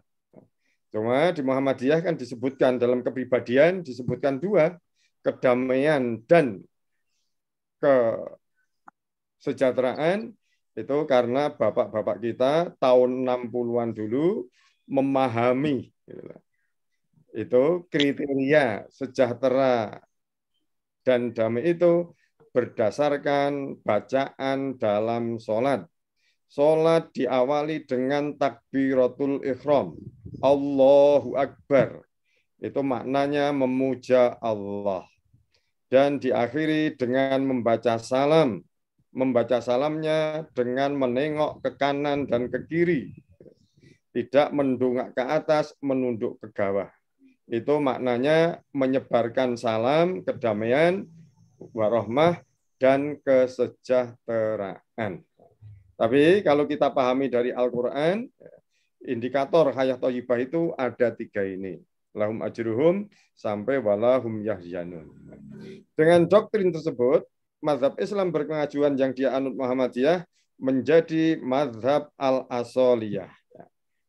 Mazhab yang mengikuti ajaran-ajaran yang otentik dalam pengertian ajaran-ajaran yang sesuai dengan hakikat Islam rahmatan lil alamin untuk mewujudkan hayat ibadah tadi dan para pengikutnya menghadirkan diri dalam kehidupan dengan gembira dan menggembirakan. Nah, sehingga ini ya kita itu menghadirkan diri warga Muhammadiyah itu dengan gembira dan menggembirakan. Nah, sehingga seminar kita ini itu adalah kita melaksanakan seminar dengan gembira dan menggembirakan. Karena kita menggunakan perspektif Getsi dalam beragama. Sehingga itu ya mengembirakan itu semua. Terus berikutnya, next. Model dakwah Muhammadiyah itu ada dakwah umum, dakwah jamaah, dakwah kultural, dan dakwah komunitas. Dakwah kepada disabilitas dan minoritas ini termasuk model dakwah yang keempat ini.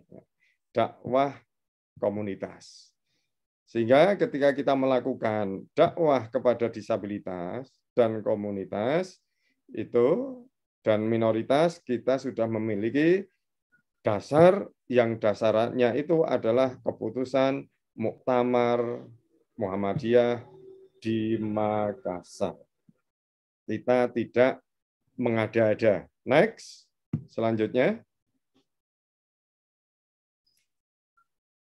Terus dalam melakukan dakwah melintas batas itu dengan menggunakan pendekatan budaya, terus pendekatan pendidikan, dan pendekatan pemberdayaan.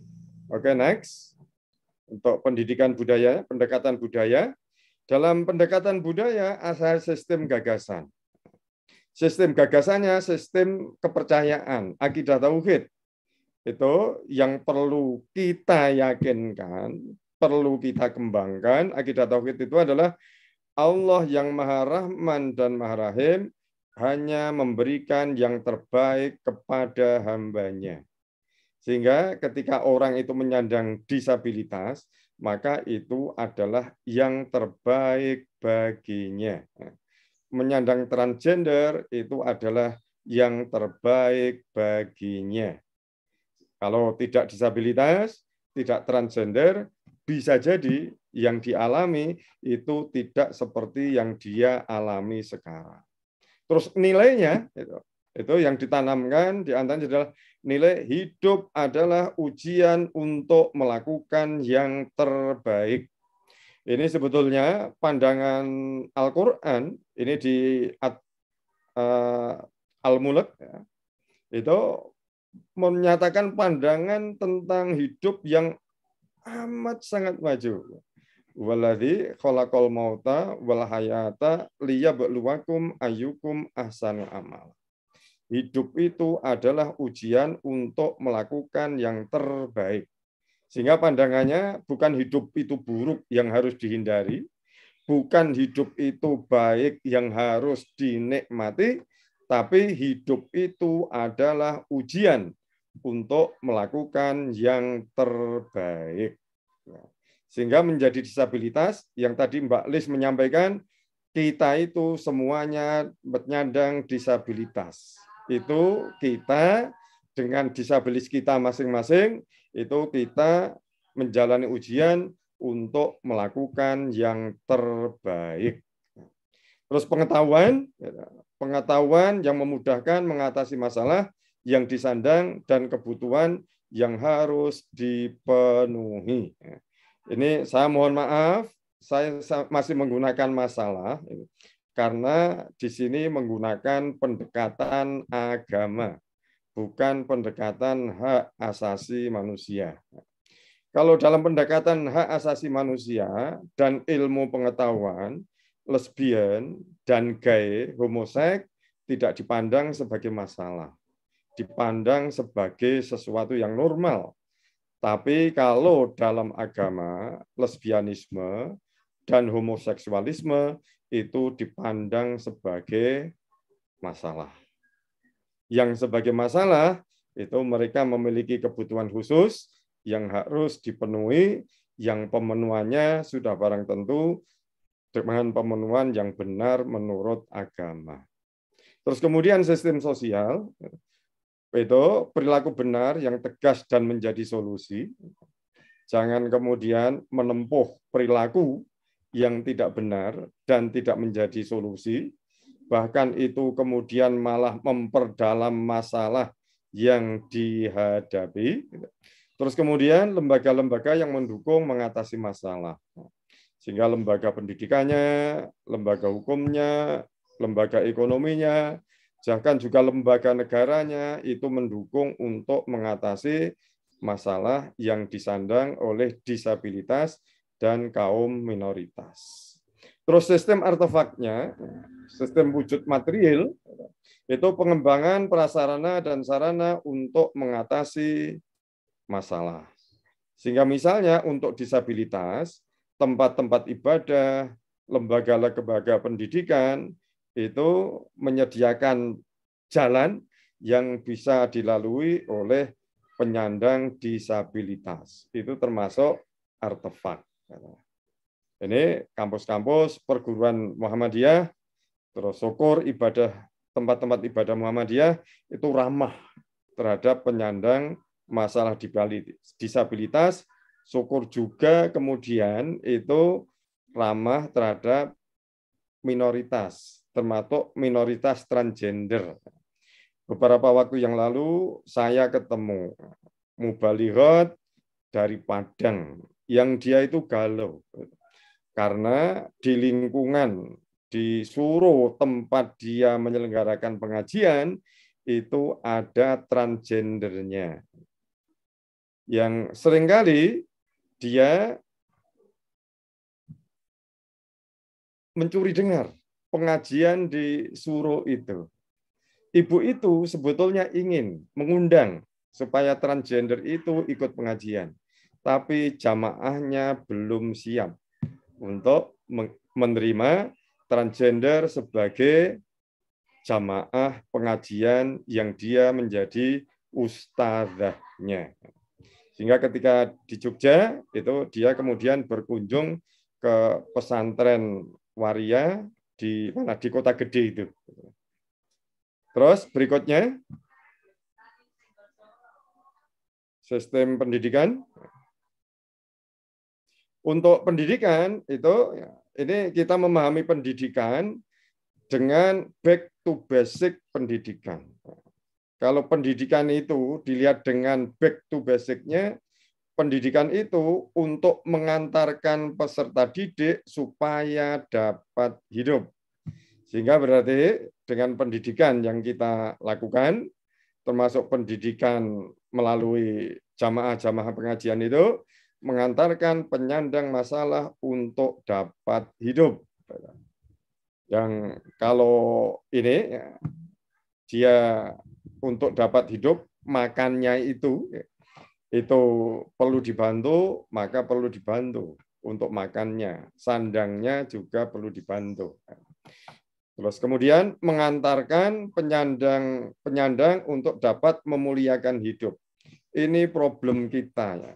Banyak ini komunitas, kelompok tertentu yang kehilangan harapan hidup, termasuk anak-anak yang putus sekolah. Itu ngeri banget. Saya baca di koran internasional, ada kelompok anak-anak yang putus sekolah, kemudian membuat unggahan untuk diunggah di YouTube. Dan unggahannya itu adalah menghadang truk yang bawa muatan yang berat, menghadang, menghadang tronton. Yang kalau itu trontonnya itu bisa berhenti, truknya bisa berhenti, maka dia selamat. Tapi kalau tidak bisa bisa berhenti, maka kemudian anak itu tertabrak. Kan di Jakarta itu ada yang sampai ke situ. Dan itu merisaukan. Termasuk merisaukan sopir-sopirnya. Jadi sopir sekarang tambah itu pekerjaannya itu. Gimana menghadapi anak-anak yang nekat menghadang truk yang mereka kendarai untuk membuat konten di YouTube.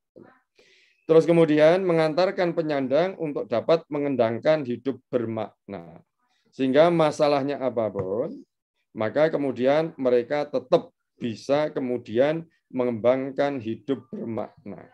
Bisa memberi kontribusi dengan karir yang mereka pilih termasuk itu karir sebagai desainer atau salon.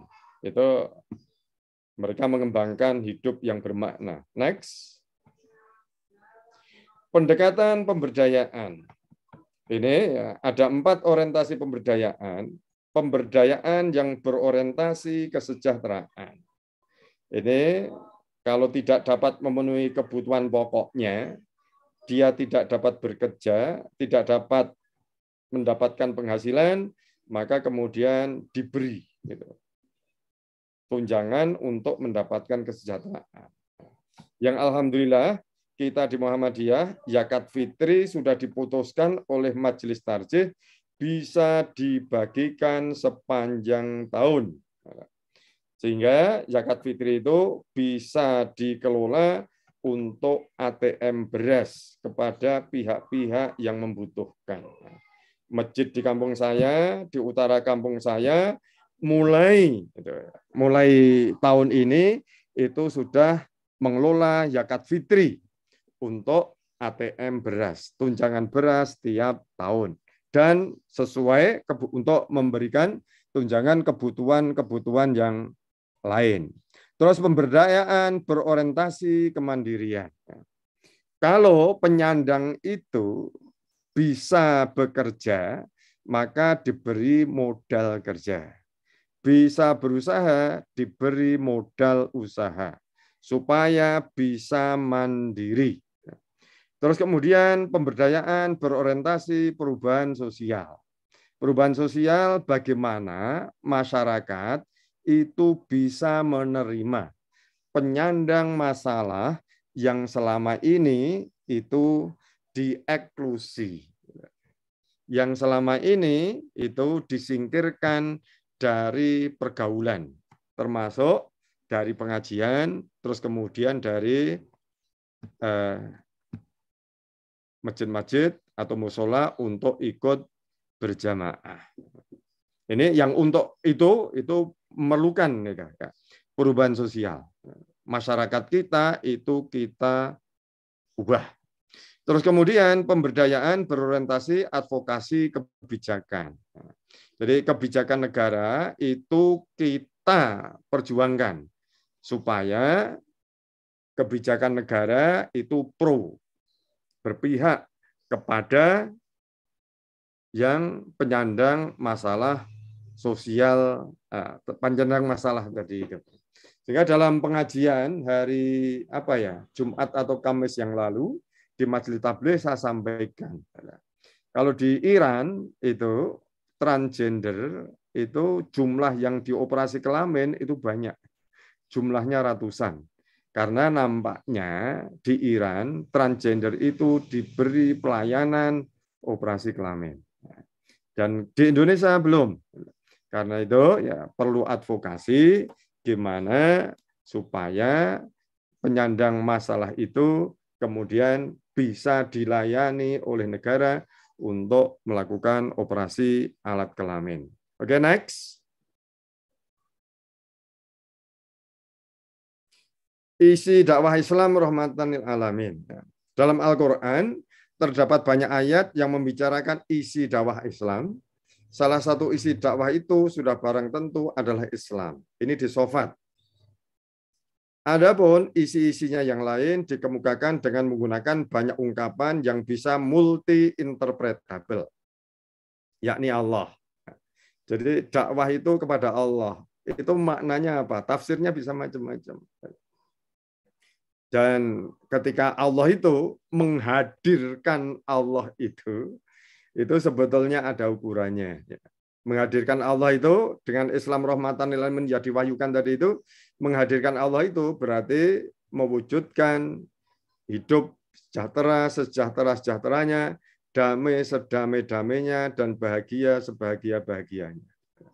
Sehingga dakwah kepada Allah itu berarti dakwah untuk mewujudkan hidup baik dengan tiga ukuran tadi itu. Allah dan Rasulnya,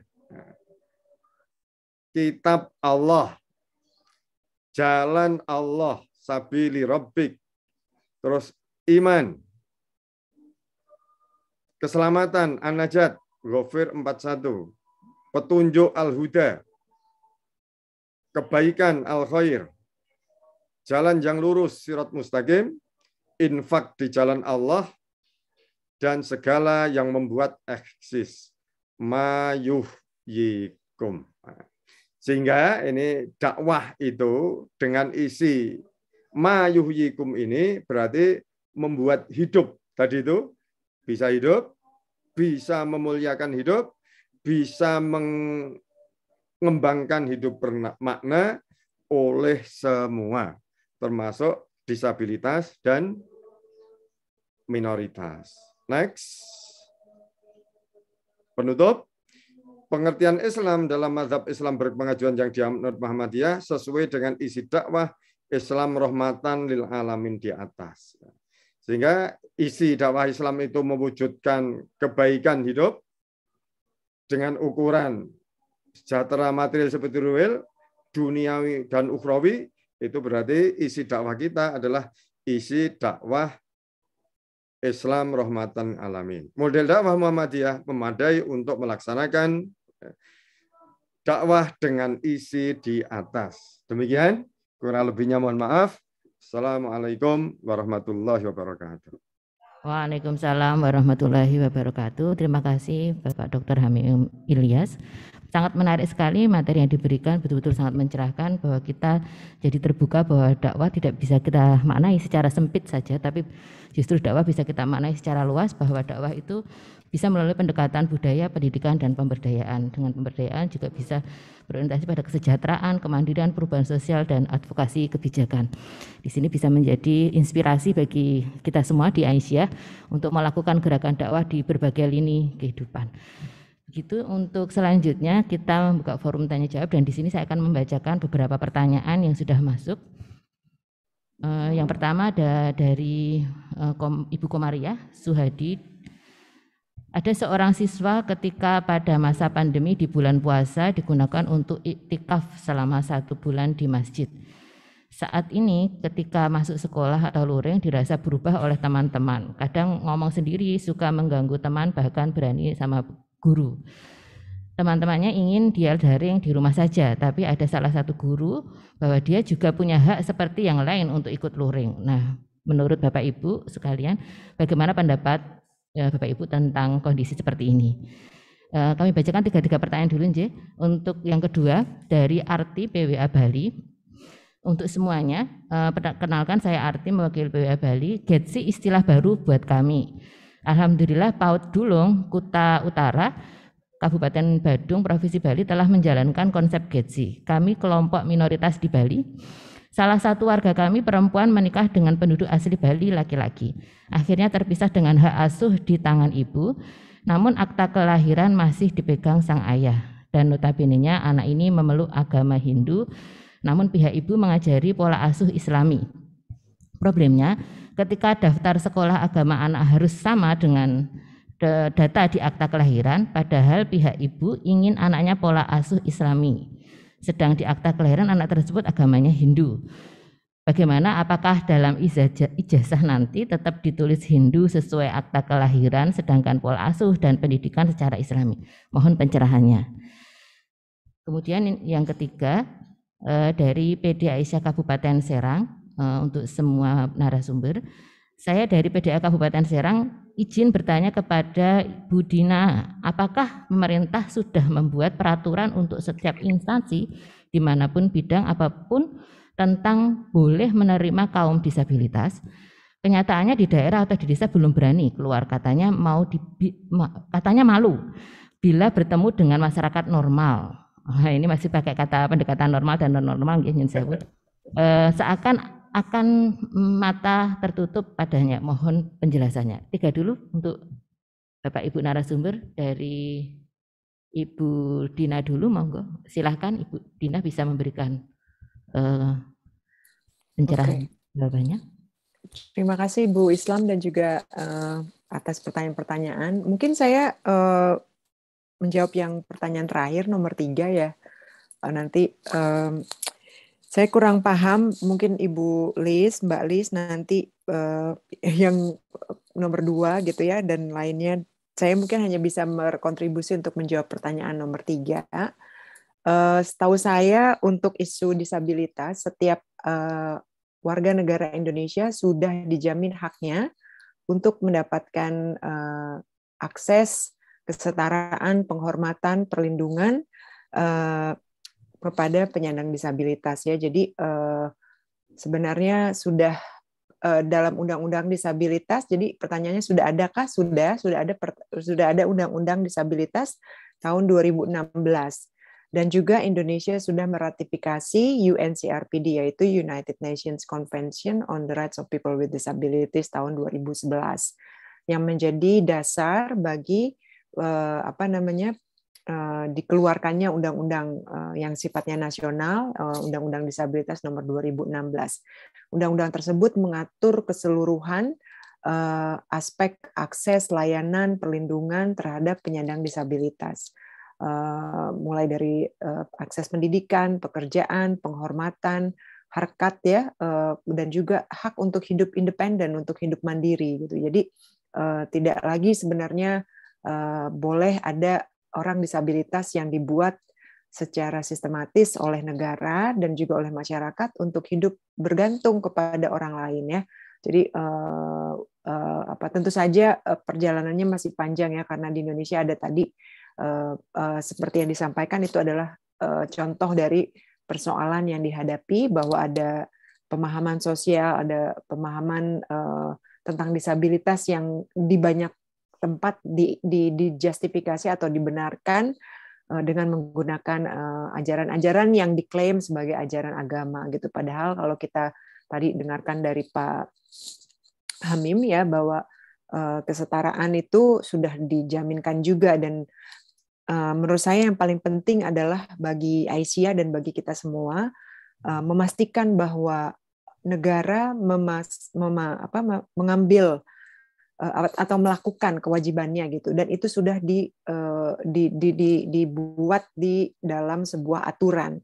Bahkan kalau ada sekolah universitas yang tidak memberikan akses itu bisa dituntut bisa dibawa ke pengadilan secara perdata.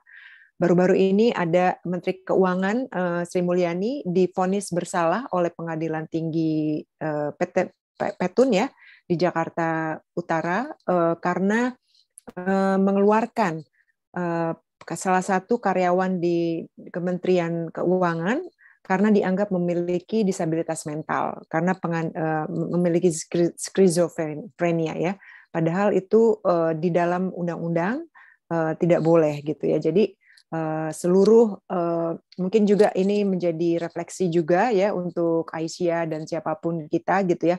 Uh, kewajiban setiap organisasi uh, perusahaan kantor kementerian untuk memperkerjakan penyandang disabilitas itu uh, maksimal satu persen untuk uh, perusahaan swasta ya.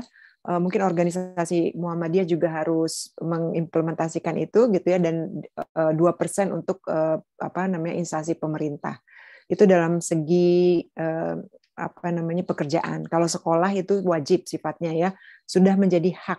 Kalau hak itu artinya tidak boleh ada yang menjadi dijadikan alasan untuk membuat orang dengan ragam disabilitas tidak mendapatkan haknya Eh, demikian dan juga satu kesalahan sosial jika eh, kita eh, membiarkan gitu ya adanya terus pandangan-pandangan yang menganggap bahwa penyandang disabilitas tidak perlu sekolah, tidak perlu hidup mandiri dan lain sebagainya. Jadi ini perlu suatu revolusi pandangan yang luar biasa memang ya karena basis UNCRPD basis basis penghormatan atas hak uh, memang uh, baru juga dikemukakan menjadi tahun 2006 UNCRPD itu. Tapi menurut saya apa yang dilakukan oleh sekolah-sekolah Aisyah, sekolah-sekolah Muhammadiyah itu sudah uh, banyak ya dan uh, saya uh, sering mengutip atau menyebut apa yang dilakukan oleh Pak Amin Abdullah ketika menjadi Rektor UIN Yogyakarta di tahun 2007 yang mendirikan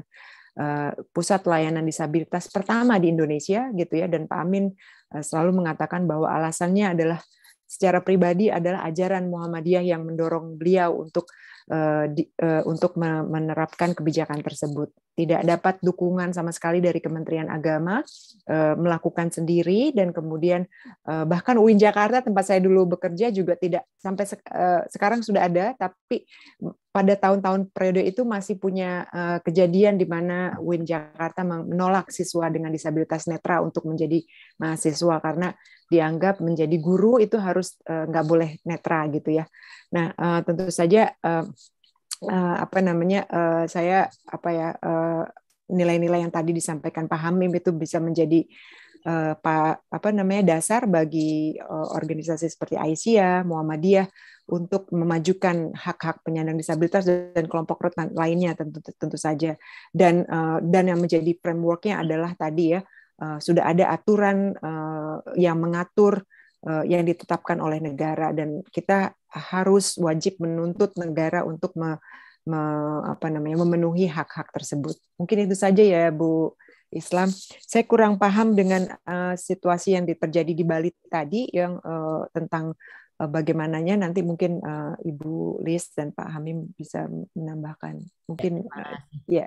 Nah, uh, kami persilakan kepada Ibu Lis Markus untuk bisa menjawab pertanyaan pertama dan kedua tentang kasus yang di Bali dan juga yang anak yang belum bisa sekolah tadi karena belum diterima. Anak yang iya anak yang apa, Mbak? uh, dia uh, di, ngomong berbicara sendiri, uh, teman-temannya masih oh, iya. gitu. Karena oh iya. Kaf, ya. Iya. Ya, uh, terima kasih. Uh, jadi uh, COVID-19 ini memang berdampak beragam ya kepada anak didik. Dan saya kira pengetahuan tentang itu itu sangat penting. Dan saya percaya bahwa ibu-ibu eh, makanya bisa mengenali problem itu. Itu karena ibu-ibu bertemu langsung menghadapi langsung eh, problem itu. Usul saya adalah tentu eh, sebaiknya mendukung sekolah itu atau guru itu untuk non discriminatory terhadap si anak, tetapi juga harus ada pendampingan untuk mendapatkan uh, layanan kesehatan uh, gangguan uh, psikologis uh, gitu ya. Uh, maaf, uh, background saya uh, kurang memadai untuk uh, hal ini, jadi sangat normatif saja. Uh, sebaiknya Ibu Aisyah yang tahu uh, dia meminta izin kepada atau bersama dengan sekolah dan orang tuanya untuk membawa anak itu ke uh, layanan yang memadai, tetapi hindarkan uh, hal-hal yang menyebabkan dia tambah terdiskriminasi misalnya di, eh, karena diketahui eh, bahwa dia meng, apa namanya menjalani pengobatan lalu dianggap eh, gangguan jiwa misalnya hal semacam itu yang menyebabkan dia akan lebih terpuruk lagi. Kalau dia perempuan, ibu hal yang paling penting adalah memang eh, perlindungan uh, dari uh, kekerasan dan kejahatan seksual karenanya harus sangat yakin bahwa tidak ada orang yang melakukan uh, memanfaatkan ke apa ya wahamnya di situasi yang sedang drop itu yang menyebabkan adanya kekerasan secara seksual yang tidak bertanggung jawab untuk ibu yang dari Bali, eh, kalau usul saya eh, sebetulnya eh, pola pengasuhan di Indonesia itu kan eh, parental ya, ayah dan ibu secara bersama-sama. Jadi apa yang sudah dilakukan menurut saya itu saya pun eh, pasti akan melakukan hal yang sama. Pola asuhan Islami yang ibu maksud adalah niscaya nilai-nilai gitu ya nilai-nilai Islam yang diajarkan kepada nilai kebaikan eh, nilai-nilai eh, kemanusiaan nilai persaudaraan nilai untuk uh, senantiasa berbuat baik kepada orang lain itu yang menurut saya bisa terus dilakukan. Yang harus dihindari adalah jangan memaksa, apalagi dengan melakukan tindakan kekerasan. Uh, hindari paksaan untuk ikut salah satu salah satu problem di Indonesia dengan uh, interfaith uh, marriage itu memang adalah e, di satu titik orang harus mengambil keputusan gitu. Misalnya e, soal perkawinannya atau soal bagaimana ditumbuh kembangkannya atau bahkan jika terjadi e, musibah kematian misalnya harus diputuskan apa yang harus. Nah, karenanya musyawarah di antara keluarga untuk mencapai kesepakatan sebelum orang lain ikut campur itu menjadi sangat penting. Sikap terbuka dan hindari uh, pemaksaan atas nama eh, kan saya harus tanggung jawab untuk keyakinan anak, untuk agama anak dan lain sebagainya. Eh, saya, ini sangat normatif ibu karena saya sendiri tidak berpengalaman. Saya berpengalaman diasuh oleh keluarga Katolik. Eh, anak ibu angkat saya ini eh, ada empat dua eh, malah convert menjadi muslim karena perkawinannya tetapi menjadi muslim dan muslimah yang sangat eh, soleh dan soleha gitu ya. Dan ibu ayah angkat saya itu menghormati pilihan mereka dengan menghormati cucu-cucunya yang kemudian sekolah di Alizar dan eh, apa menjalankan ajaran agama Islam dengan sangat baik diterima dengan sangat baik oleh orang orang orang tuanya. Dan itu membekas kepada saya bagaimana saya memperlakukan pilihan eh, anak-anak saya. Saya kira itu Ibu sangat normatif eh, eh, jawabannya. Terima kasih. Si Ibu Lis Markus eh, kepada Bapak Hamim Ilyas, kami persilakan terutama untuk menanggapi yang di Bali kon konteks kasus di Bali tadi, Pak. Ya, terima kasih. Saya melanjutkan Mbak Lis ya. Dalam hubungannya dengan anak, untuk memenuhi hak-haknya menggunakan prinsip yang terbaik bagi anak. Anak, iya, CRC. Ya. Ya, tuh, jangan jangan jangan melanggar itu.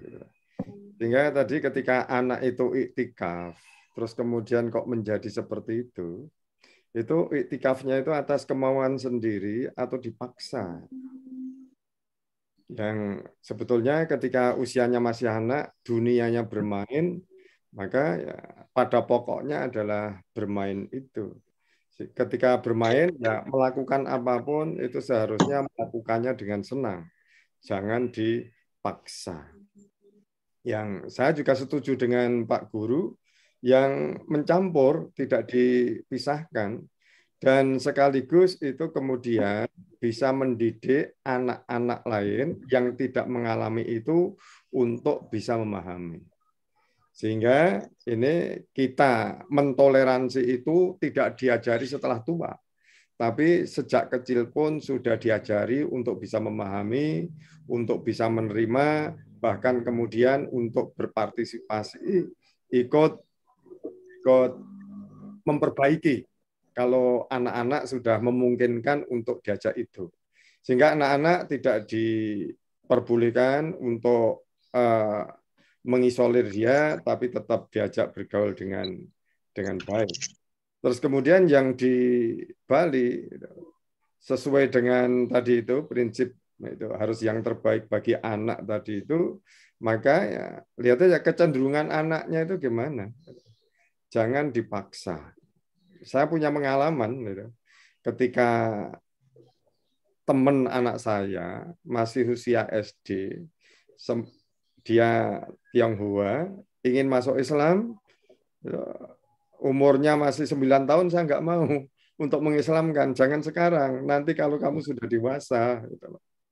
Itu Ya bisa jadi karena dia ingin masuk Islamnya itu itu karena lingkungan mayoritasnya itu adalah teman-temannya yang beragama Islam. Sehingga ini yang di Bali ini kecenderungan anaknya itu gimana? Kalau memang kecenderungannya untuk menjadi Muslim dan memang perkawinan beda agama itu menurut penelitian pilihan agamanya itu lebih banyak ke agama ibu. Itu penelitian di Jogja. Sehingga bisa jadi memang anak itu ibunya Muslim, terus bapaknya Hindu, tapi karena dekat dengan ibunya, maka kecenderungannya adalah Islam. Karena itu, ya, anak itu dididik sesuai dengan kecenderungannya itu. Yang dididik dengan kecenderungannya itu kemudian juga bisa diberi pemahaman. Tetap menghormati toleransi kepada orang tuanya. Jangan sampai kemudian dibuat benci, tidak suka kepada bapaknya. Ya, terima kasih. Pak Dr. Hamim Ilyas, kami bacakan pertanyaan berikutnya. Ini langsung empat karena yang satu eh, sedikit ya. Eh, kami bacakan langsung empat pertanyaan, yang satu karena ada sedikit. Yang pertama dari Bu Mursyidah SH dari PWA Aceh. Uh, kepada semua narasumber. Uh, Assalamualaikum, mohon izin bertanya. Saya Bu Mursida dari BAC dalam implementasi dan Monef Getsi ini, apakah ada pendataan hasil peningkatan dari pelaksanaan Getsi tersebut? Kemudian dari Hairi, anak yang terlahir berkebutuhan khusus kemungkinan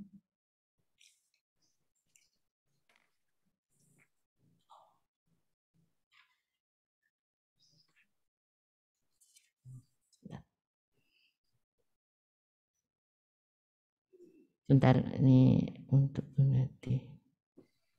Bunati.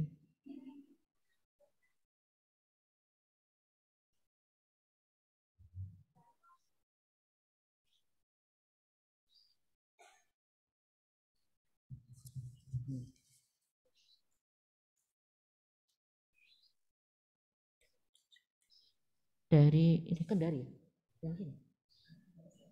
Dari dari uh, KR Kuraidah Kendari PWA Sultra untuk semua narasumber secara umum GETSI tidak bertentangan dengan Islam. Tetapi secara spesifik spesifik transgender mohon penjelasan lebih lanjut dari pemateri. Ketiga tentang sikap Muhammadiyah tentang LGBT.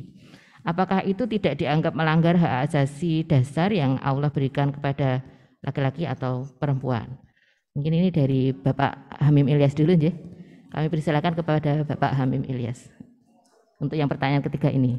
Oke, jadi pertanyaan yang ketiga ya. Ini dalam pengajian yang lalu itu sudah saya sampaikan bahwa manusia itu kodratnya sama, fitrahnya itu sama, itu kedudukannya sebagai hamba dan khalifah, kodrat eksistensialnya itu makhluk yang dinamis, terus kemudian kodrat-kodrat potensinya semuanya itu adalah makhluk sosial, makhluk pengetahuan, makhluk tata aturan. Tapi manusia untuk menjadi itu itu kemudian ada proses. Prosesnya proses biopsikososial. Dengan proses biopsikososial itu maka orang memiliki syakilah.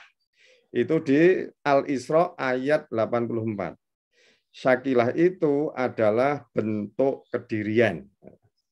Sehingga orang itu tinggi badannya itu berapa, stunting dan tidak tadi itu, itu berhubungan dengan proses biologisnya. Jadi saya relatif tinggi 167 cm itu karena saya relatif terpenuhi kebutuhan protein hewaninya dengan bukan karena orang tua saya kaya, tapi karena saya bisa mencari belut dan bisa mencari ikan kotes, lele itu di sekeliling kampung saya. Dan kemudian untuk menjadi transgender, terus juga LGBT itu, itu ada proses biopsikososialnya. Yang itu amat sangat subtil yang karena amat sangat subtil, maka kemudian kalau dulu dalam fikih itu pembicaraannya pendekatan fikih itu hukum, hukumannya hukuman mati. Dan dulu dalam fikih itu untuk menentukan jenis kelamin itu berdasarkan alat kelaminnya. Sehingga dalam pembicaraan fikih itu yang dikenal adalah khungsa.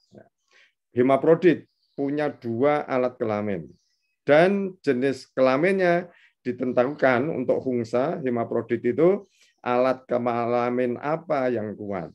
Kalau yang kuat adalah alat kelamin laki-laki, maka kemudian diputuskan jenis kelaminnya laki-laki. Kalau yang kuat adalah alat kelamin perempuan, diputuskan kelaminnya ah, jenis kelaminnya adalah perempuan. Dan kalau mungsil, muskil sama-sama kuat, maka dipersilahkan untuk memilih.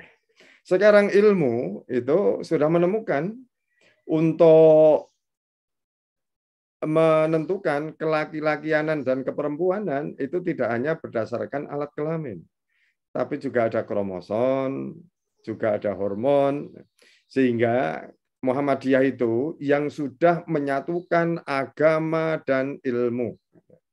Agamanya itu lisolihil ibad, ilmu itu dalam Muhammadiyah juga di masalah lima itu adalah ilmu pengetahuan.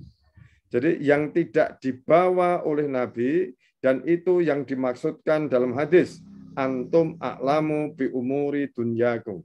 Kamu lebih mengetahui urusan duniamu. Di situ dalam Muhammadiyah dipahami adalah ilmu. Agama dan ilmu itu menyatu. Sehingga Muhammadiyah itu sekarang menurut pemahaman saya itu ketika menentukan kelaki-lakianan dan keperempuanan tidak hanya melihat alat kelaminnya saja, tapi juga hormonnya, kromosomnya.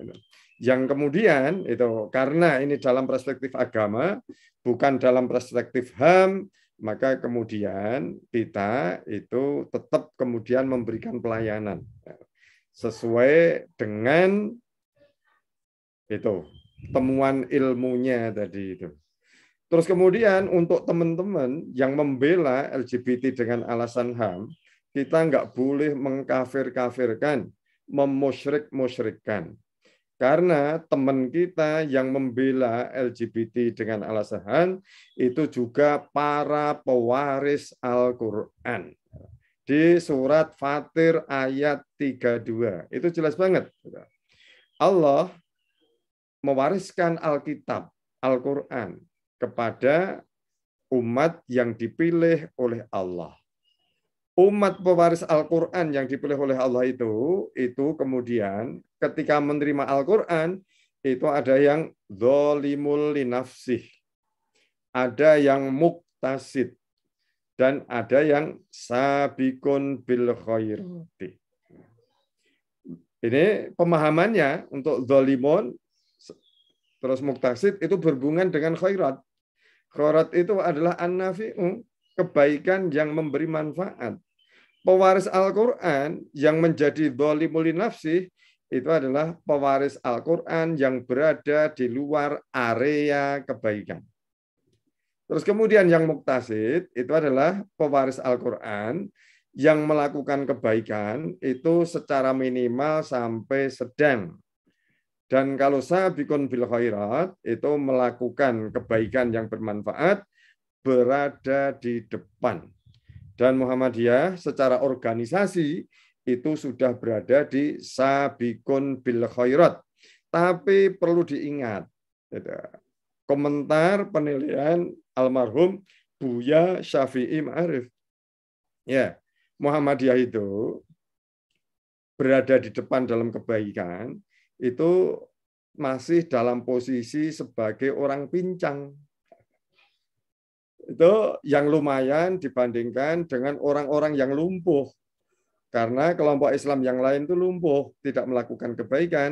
Cuma ini Muhammadiyah sebagai yang pincang tadi itu masih kalah dibandingkan dengan yang lain dan dalam melakukan kebaikan itu sudah dengan berjalan normal bahkan juga dengan berlari. Itu Mbak ya, terima kasih. Pak Hamim, untuk selanjutnya kami persilakan Ibu Lis Markus dan Mbak Dina tentang Monef Getsi itu sendiri.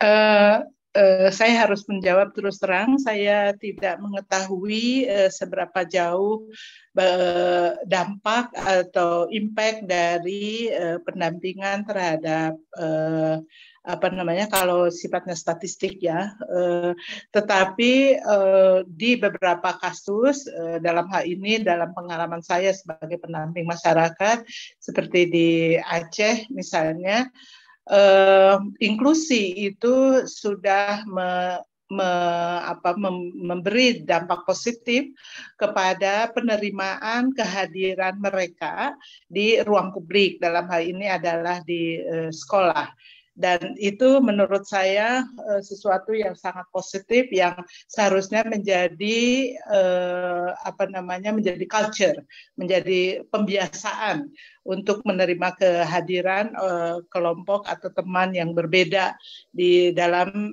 basis-basis masyarakat terutama di pendidikan.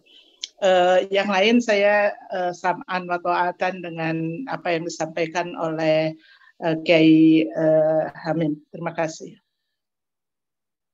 Terima kasih Bu Lis. Mungkin ada tambahan dari Ibu Dina? Iya, uh, uh, saya sama apa echoing juga apa yang disampaikan Mbak Lis barusan ya. Uh, menurut saya mungkin belum ada ya studi tentang sejauh mana Monef dan implementasi GETSI itu sudah sudah apa namanya sudah dilakukan ya dan impactnya seperti apa. Tetapi eh, kalau kita melihat perkembangan beberapa tahun terakhir, karena tadi mungkin juga harus kita ingat bahwa GETSI sendiri masih sangat baru ya.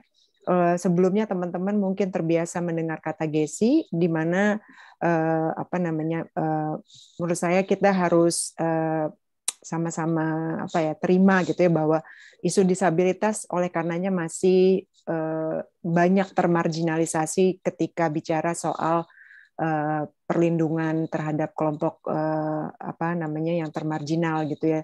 Tetapi uh, salah satu contoh, dua contoh menurut saya yang bisa kita lihat sebagai suatu keberhasilan bagaimana disability itu atau disab, inklusi disabilitas mulai menguas mulai membawa pengaruh positif terutama dalam hal kebijakan ya ini juga dan munculnya dua kebijakan tersebut adalah akibat dari advokasi yang dilakukan oleh eh, gerakan eh, perempuan dan juga eh, gerakan disabilitas dan gerakan pemenuhan hak asasi manusia di Indonesia. Yaitu misalnya di undang-undang TPKS yang baru saja diresmi yang baru saja disahkan ya bulan April bulan Mei kemarin bahwa banyak provision atau banyak pasal-pasal yang sudah memberi perlindungan, jaminan perlindungan terhadap perempuan disabilitas.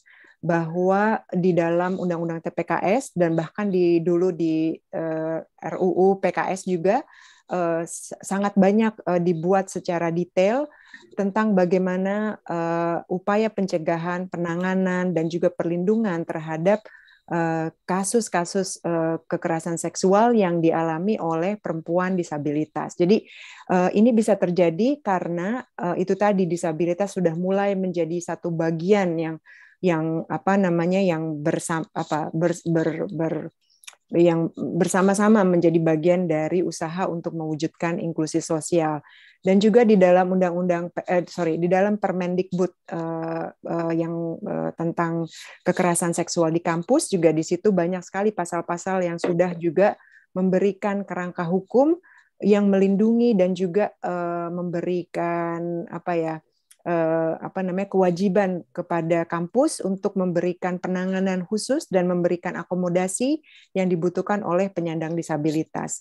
Nah, tentu saja eh, tanpa adanya kesadaran dari gerakan ya untuk eh, menyuarakan dan juga memasukkan pengalaman perempuan disabilitas ke dalam diskusi publik di dalam diskusi tentang pemenuhan hak mungkin itu tidak bisa muncul gitu jadi eh, dan juga di banyak Eh, di banyak hal lain juga sudah mulai masuk gitu ya bersamaan dengan uh, dengan isu uh, penguatan kelompok rentan dan kelompok marginal. Jadi uh, kalau keberhasilannya pada tingkat Monef itu saya secara statistik tidak tahu, tetapi uh, apa namanya usaha untuk selalu menyandingkan atau menjadikan disabilitas dan uh, kepentingan dan kebutuhan kelompok rentan lainnya bersamaan dengan kelompok perempuan dan juga isu gender equality itu dengan Getsi bisa kita satu rumpunkan gitu ya. Semoga uh, jadi tidak ada yang tertinggal gitu, tidak ada kelompok yang uh, hak-haknya diabaikan dan uh, dan perlindungannya di, di dicabut gitu. Uh, mungkin itu uh, yang bisa saya tambahkan dari untuk pertanyaan yang tadi. Ya, terima kasih Ibu Dina. Eh, karena waktu tinggal 15 menit, jadi hanya dua pertanyaan yang kami bacakan lagi. Untuk yang lainnya mungkin nanti akan dikolek oleh uh, panitia. Yang pertama uh, dari Sumedang ini dari Ibu Walaila. Bagaimana advokasi untuk mendukung pelayanan operasi kelamin agar difasilitasi pemerintah? Apa itu tidak bertentangan dengan norma kita?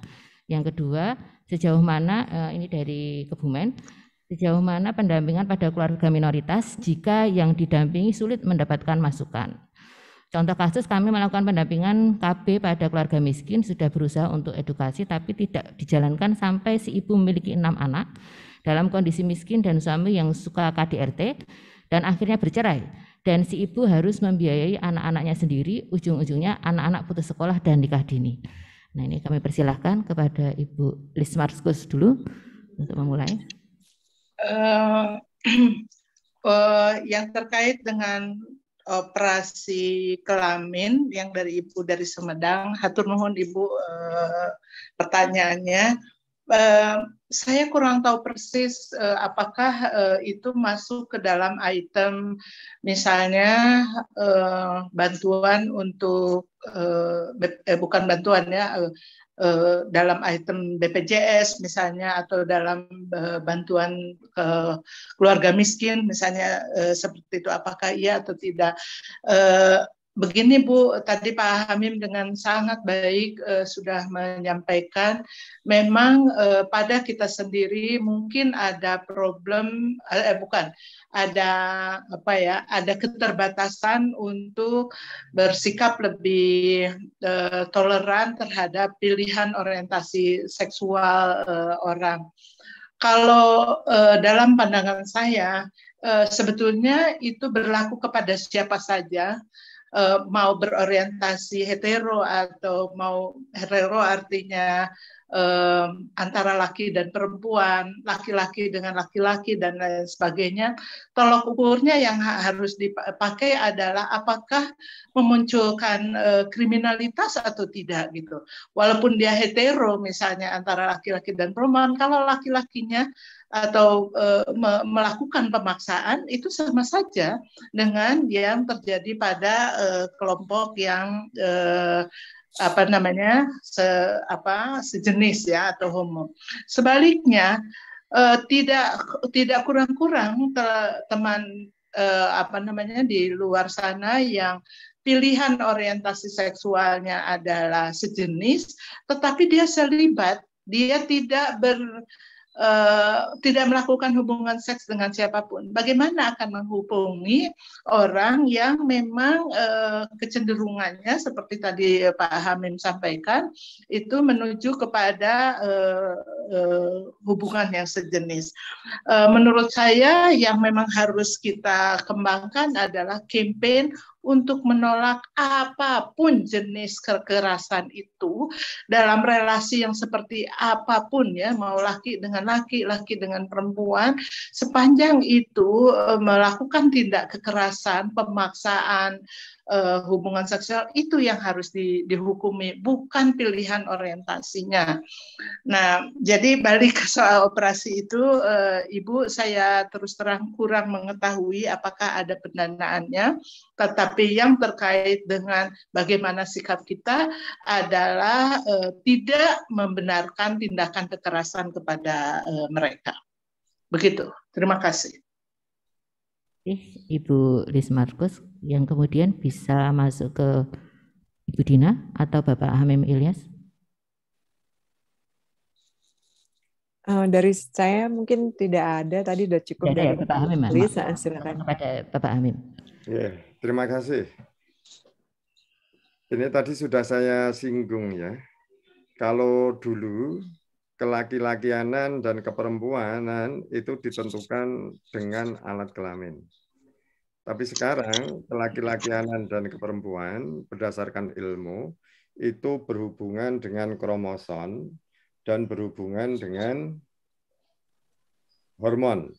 Yang dalam eh, pengajian yang lalu ini saya minta ini Aisyah bisa mendiskusikan ini.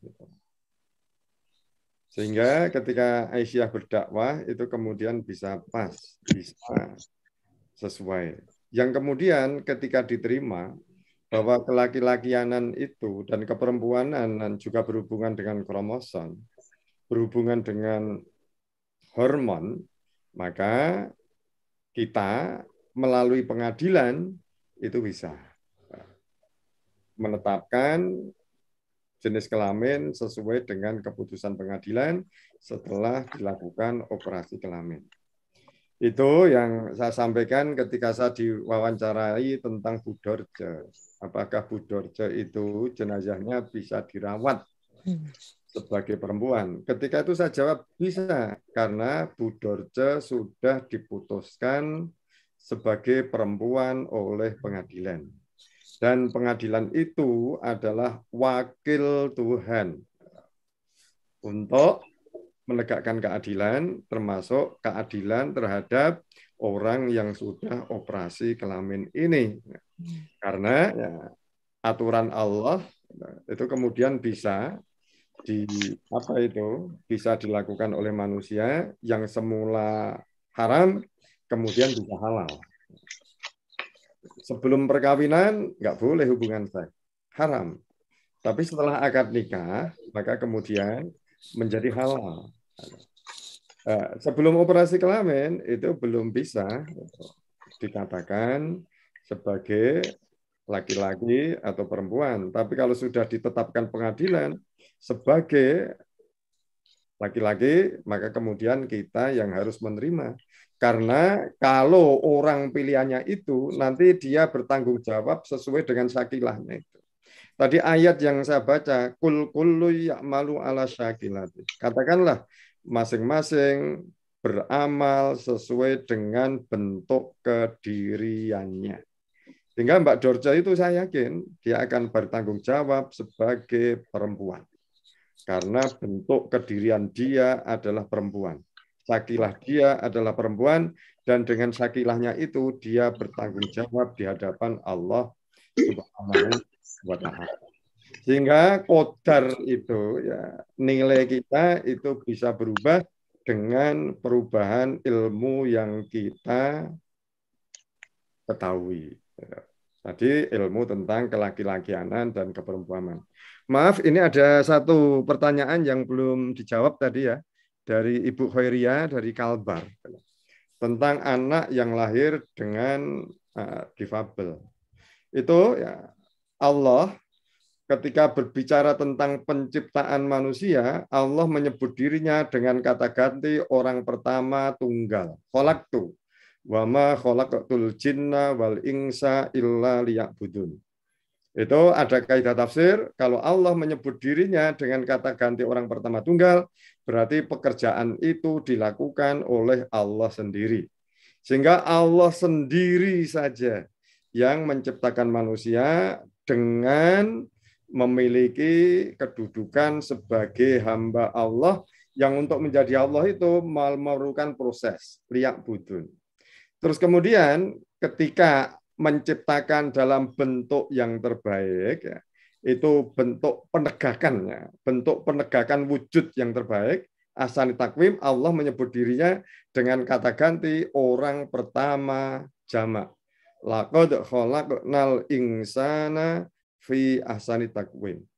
Sesungguhnya kami telah menciptakan manusia dalam bentuk penegakan wujud yang terbaik.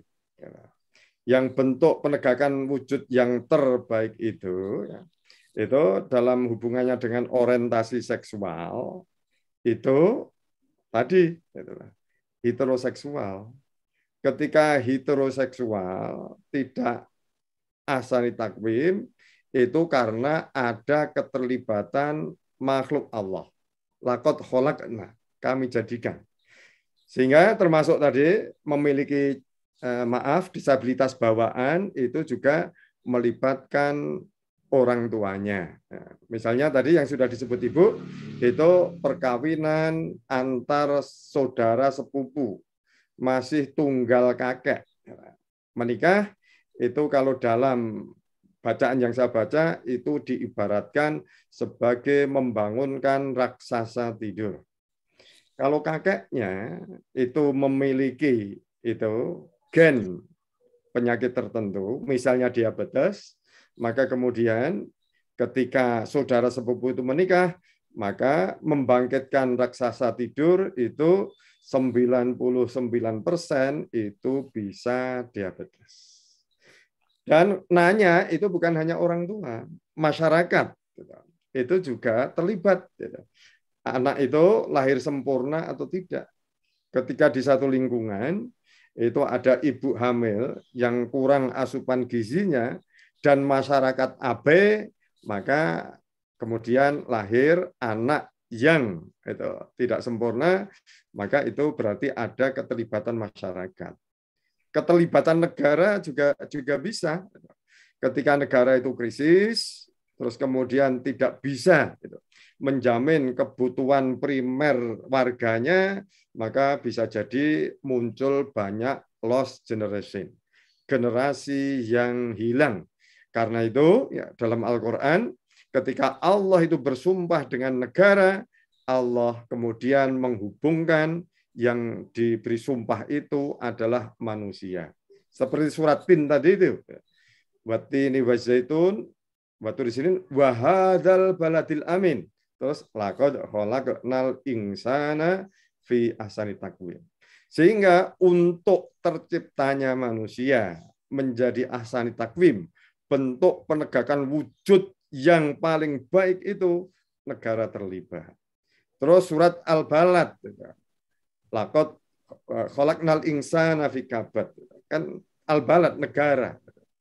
Jadi negara itu berhubungan warga negaranya itu dalam kabat atau tidak, dalam kesengsaraan dan kesulitan atau tidak, itu negara itu terlibat. Itu luar biasa pandangan Al-Quran yang seperti itu. Yang itu Al-Quran sudah menyampaikan itu. Jadi untuk memperoleh kebahagiaan itu menjadi usaha bersama. 14 abad yang lalu sudah menyatakan itu. Tapi umat manusia baru pada zaman modern menemukan bahwa kebahagiaan itu tidak hanya sekedar menjadi usaha individu, tapi menjadi usaha bersama untuk mewujudkan kebahagiaan. Terima kasih. Kurang lebihnya mohon maaf. Wassalamualaikum warahmatullahi wabarakatuh. Waalaikumsalam warahmatullahi wabarakatuh. Terima kasih kami ucapkan kepada seluruh narasumber yang telah uh, memaparkan materi dan juga telah menjawab pertanyaan-pertanyaan yang sangat uh, bagus ini. Uh, jadi teringat kami Pak Hamim tadi menyampaikan bahwa masyarakat juga ikut andil dalam ketika nanti misalnya melahirkan generasi yang stunting ataupun generasi yang disabilitas. Dulu waktu kami penelitian di Sambas itu ada tradisi uh, perempuan itu tabu untuk ketika hamil ya ketika hamil itu tabu untuk memakan ikan dan juga makan yang tidak boleh memakan sayuran dan ini kan perempuan jadi uh, apa namanya kekurangan gizi dan bisa melahirkan anak-anak yang ini apa namanya uh, stunting dan juga bisa juga berakibat ke disabilitas. Uh, dapat kami simpulkan uh, dari ketiga narasumber bahwa tadi Ibu Dina dan Ibu Lis juga uh, menyampaikan berbagai macam isu-isu GETSI, gender, disabilitas, dan inklusi sosial. Misalnya di sini juga ada masalah tentang isu-isu uh, disabilitas, isu tentang kawin anak, kemudian tentang stunting, kemudian Mbak Bu Lis Markus tadi menyampaikan berbagai macam stereotip yang bisa mengakibatkan diskriminasi, yang itu ada intersection antara uh, apa namanya kekerasan, marginalisasi, subordinasi, beban ganda, dan juga yang lainnya dan itu juga melingkupi isu-isu disabilitas tadi bisa dilihat dari analisis GETSI-nya. Kemudian dari Bapak Hamim Ilyas menekankan kepada kita uh, dan juga Mbak Dina menekankan juga tadi bagaimana menghargai semua elemen masyarakat uh, jangan sampai ada yang tertinggal no one left behind gitu. Kemudian uh, bagaimana kita berdakwah di Aisyah ini jadi tadi menyampaikan bahwa dakwah pencerahan atau dakwah melintas zaman, bagaimana kita bisa melalui pendekatan budaya, pendidikan, dan pemberdayaan. Pak Hamim tadi menekankan bahwa dakwah yang menggembirakan dengan perspektif Getsi. Jadi diharapkan nanti kita semua bisa melakukan dakwah secara bergembira dengan perspektif Getsi ini untuk memberdayakan, e, memajukan, dan juga membebaskan masyarakat. Mungkin demikian acara seminar nasional ini.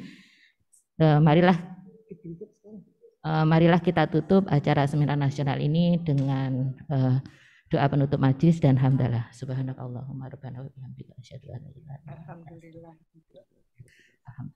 Alhamdulillah. Alamin.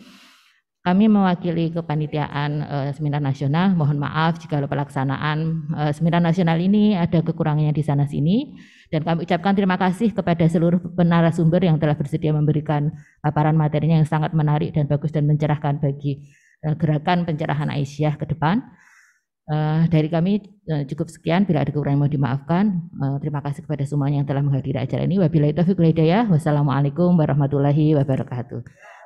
Waalaikumsalam warahmatullahi wabarakatuh. Terima kasih. Terima kasih Ibu Dina, Ibu Lis Marcos, dan Bapak Hamim. Oke, sama-sama. Mudah-mudahan manfaat. Assalamualaikum.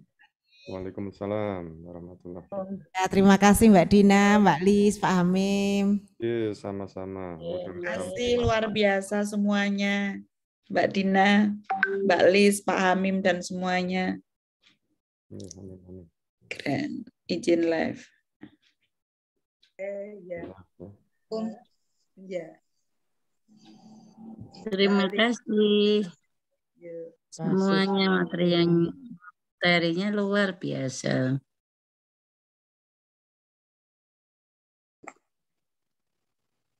Waalaikum izin live. Eh, Cukup sekian, bila ada kekurangan mohon dimaafkan. Eh, Terima kasih kepada semuanya. Hidayah. Wassalamualaikum warahmatullahi wabarakatuh.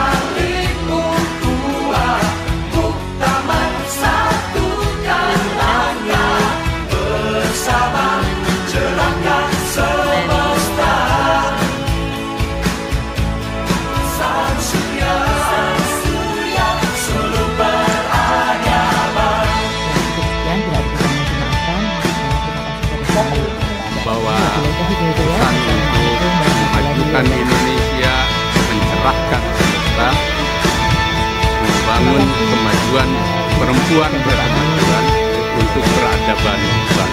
Ayo yang sebagai gerakan bank muslim yang berkemajuan. Terus kami tingkatkan dan kami berkhidmat, terus berkhidmat bahwa keberadaan Aisyah ini harus menyentuh langsung pada kepentingan masyarakat.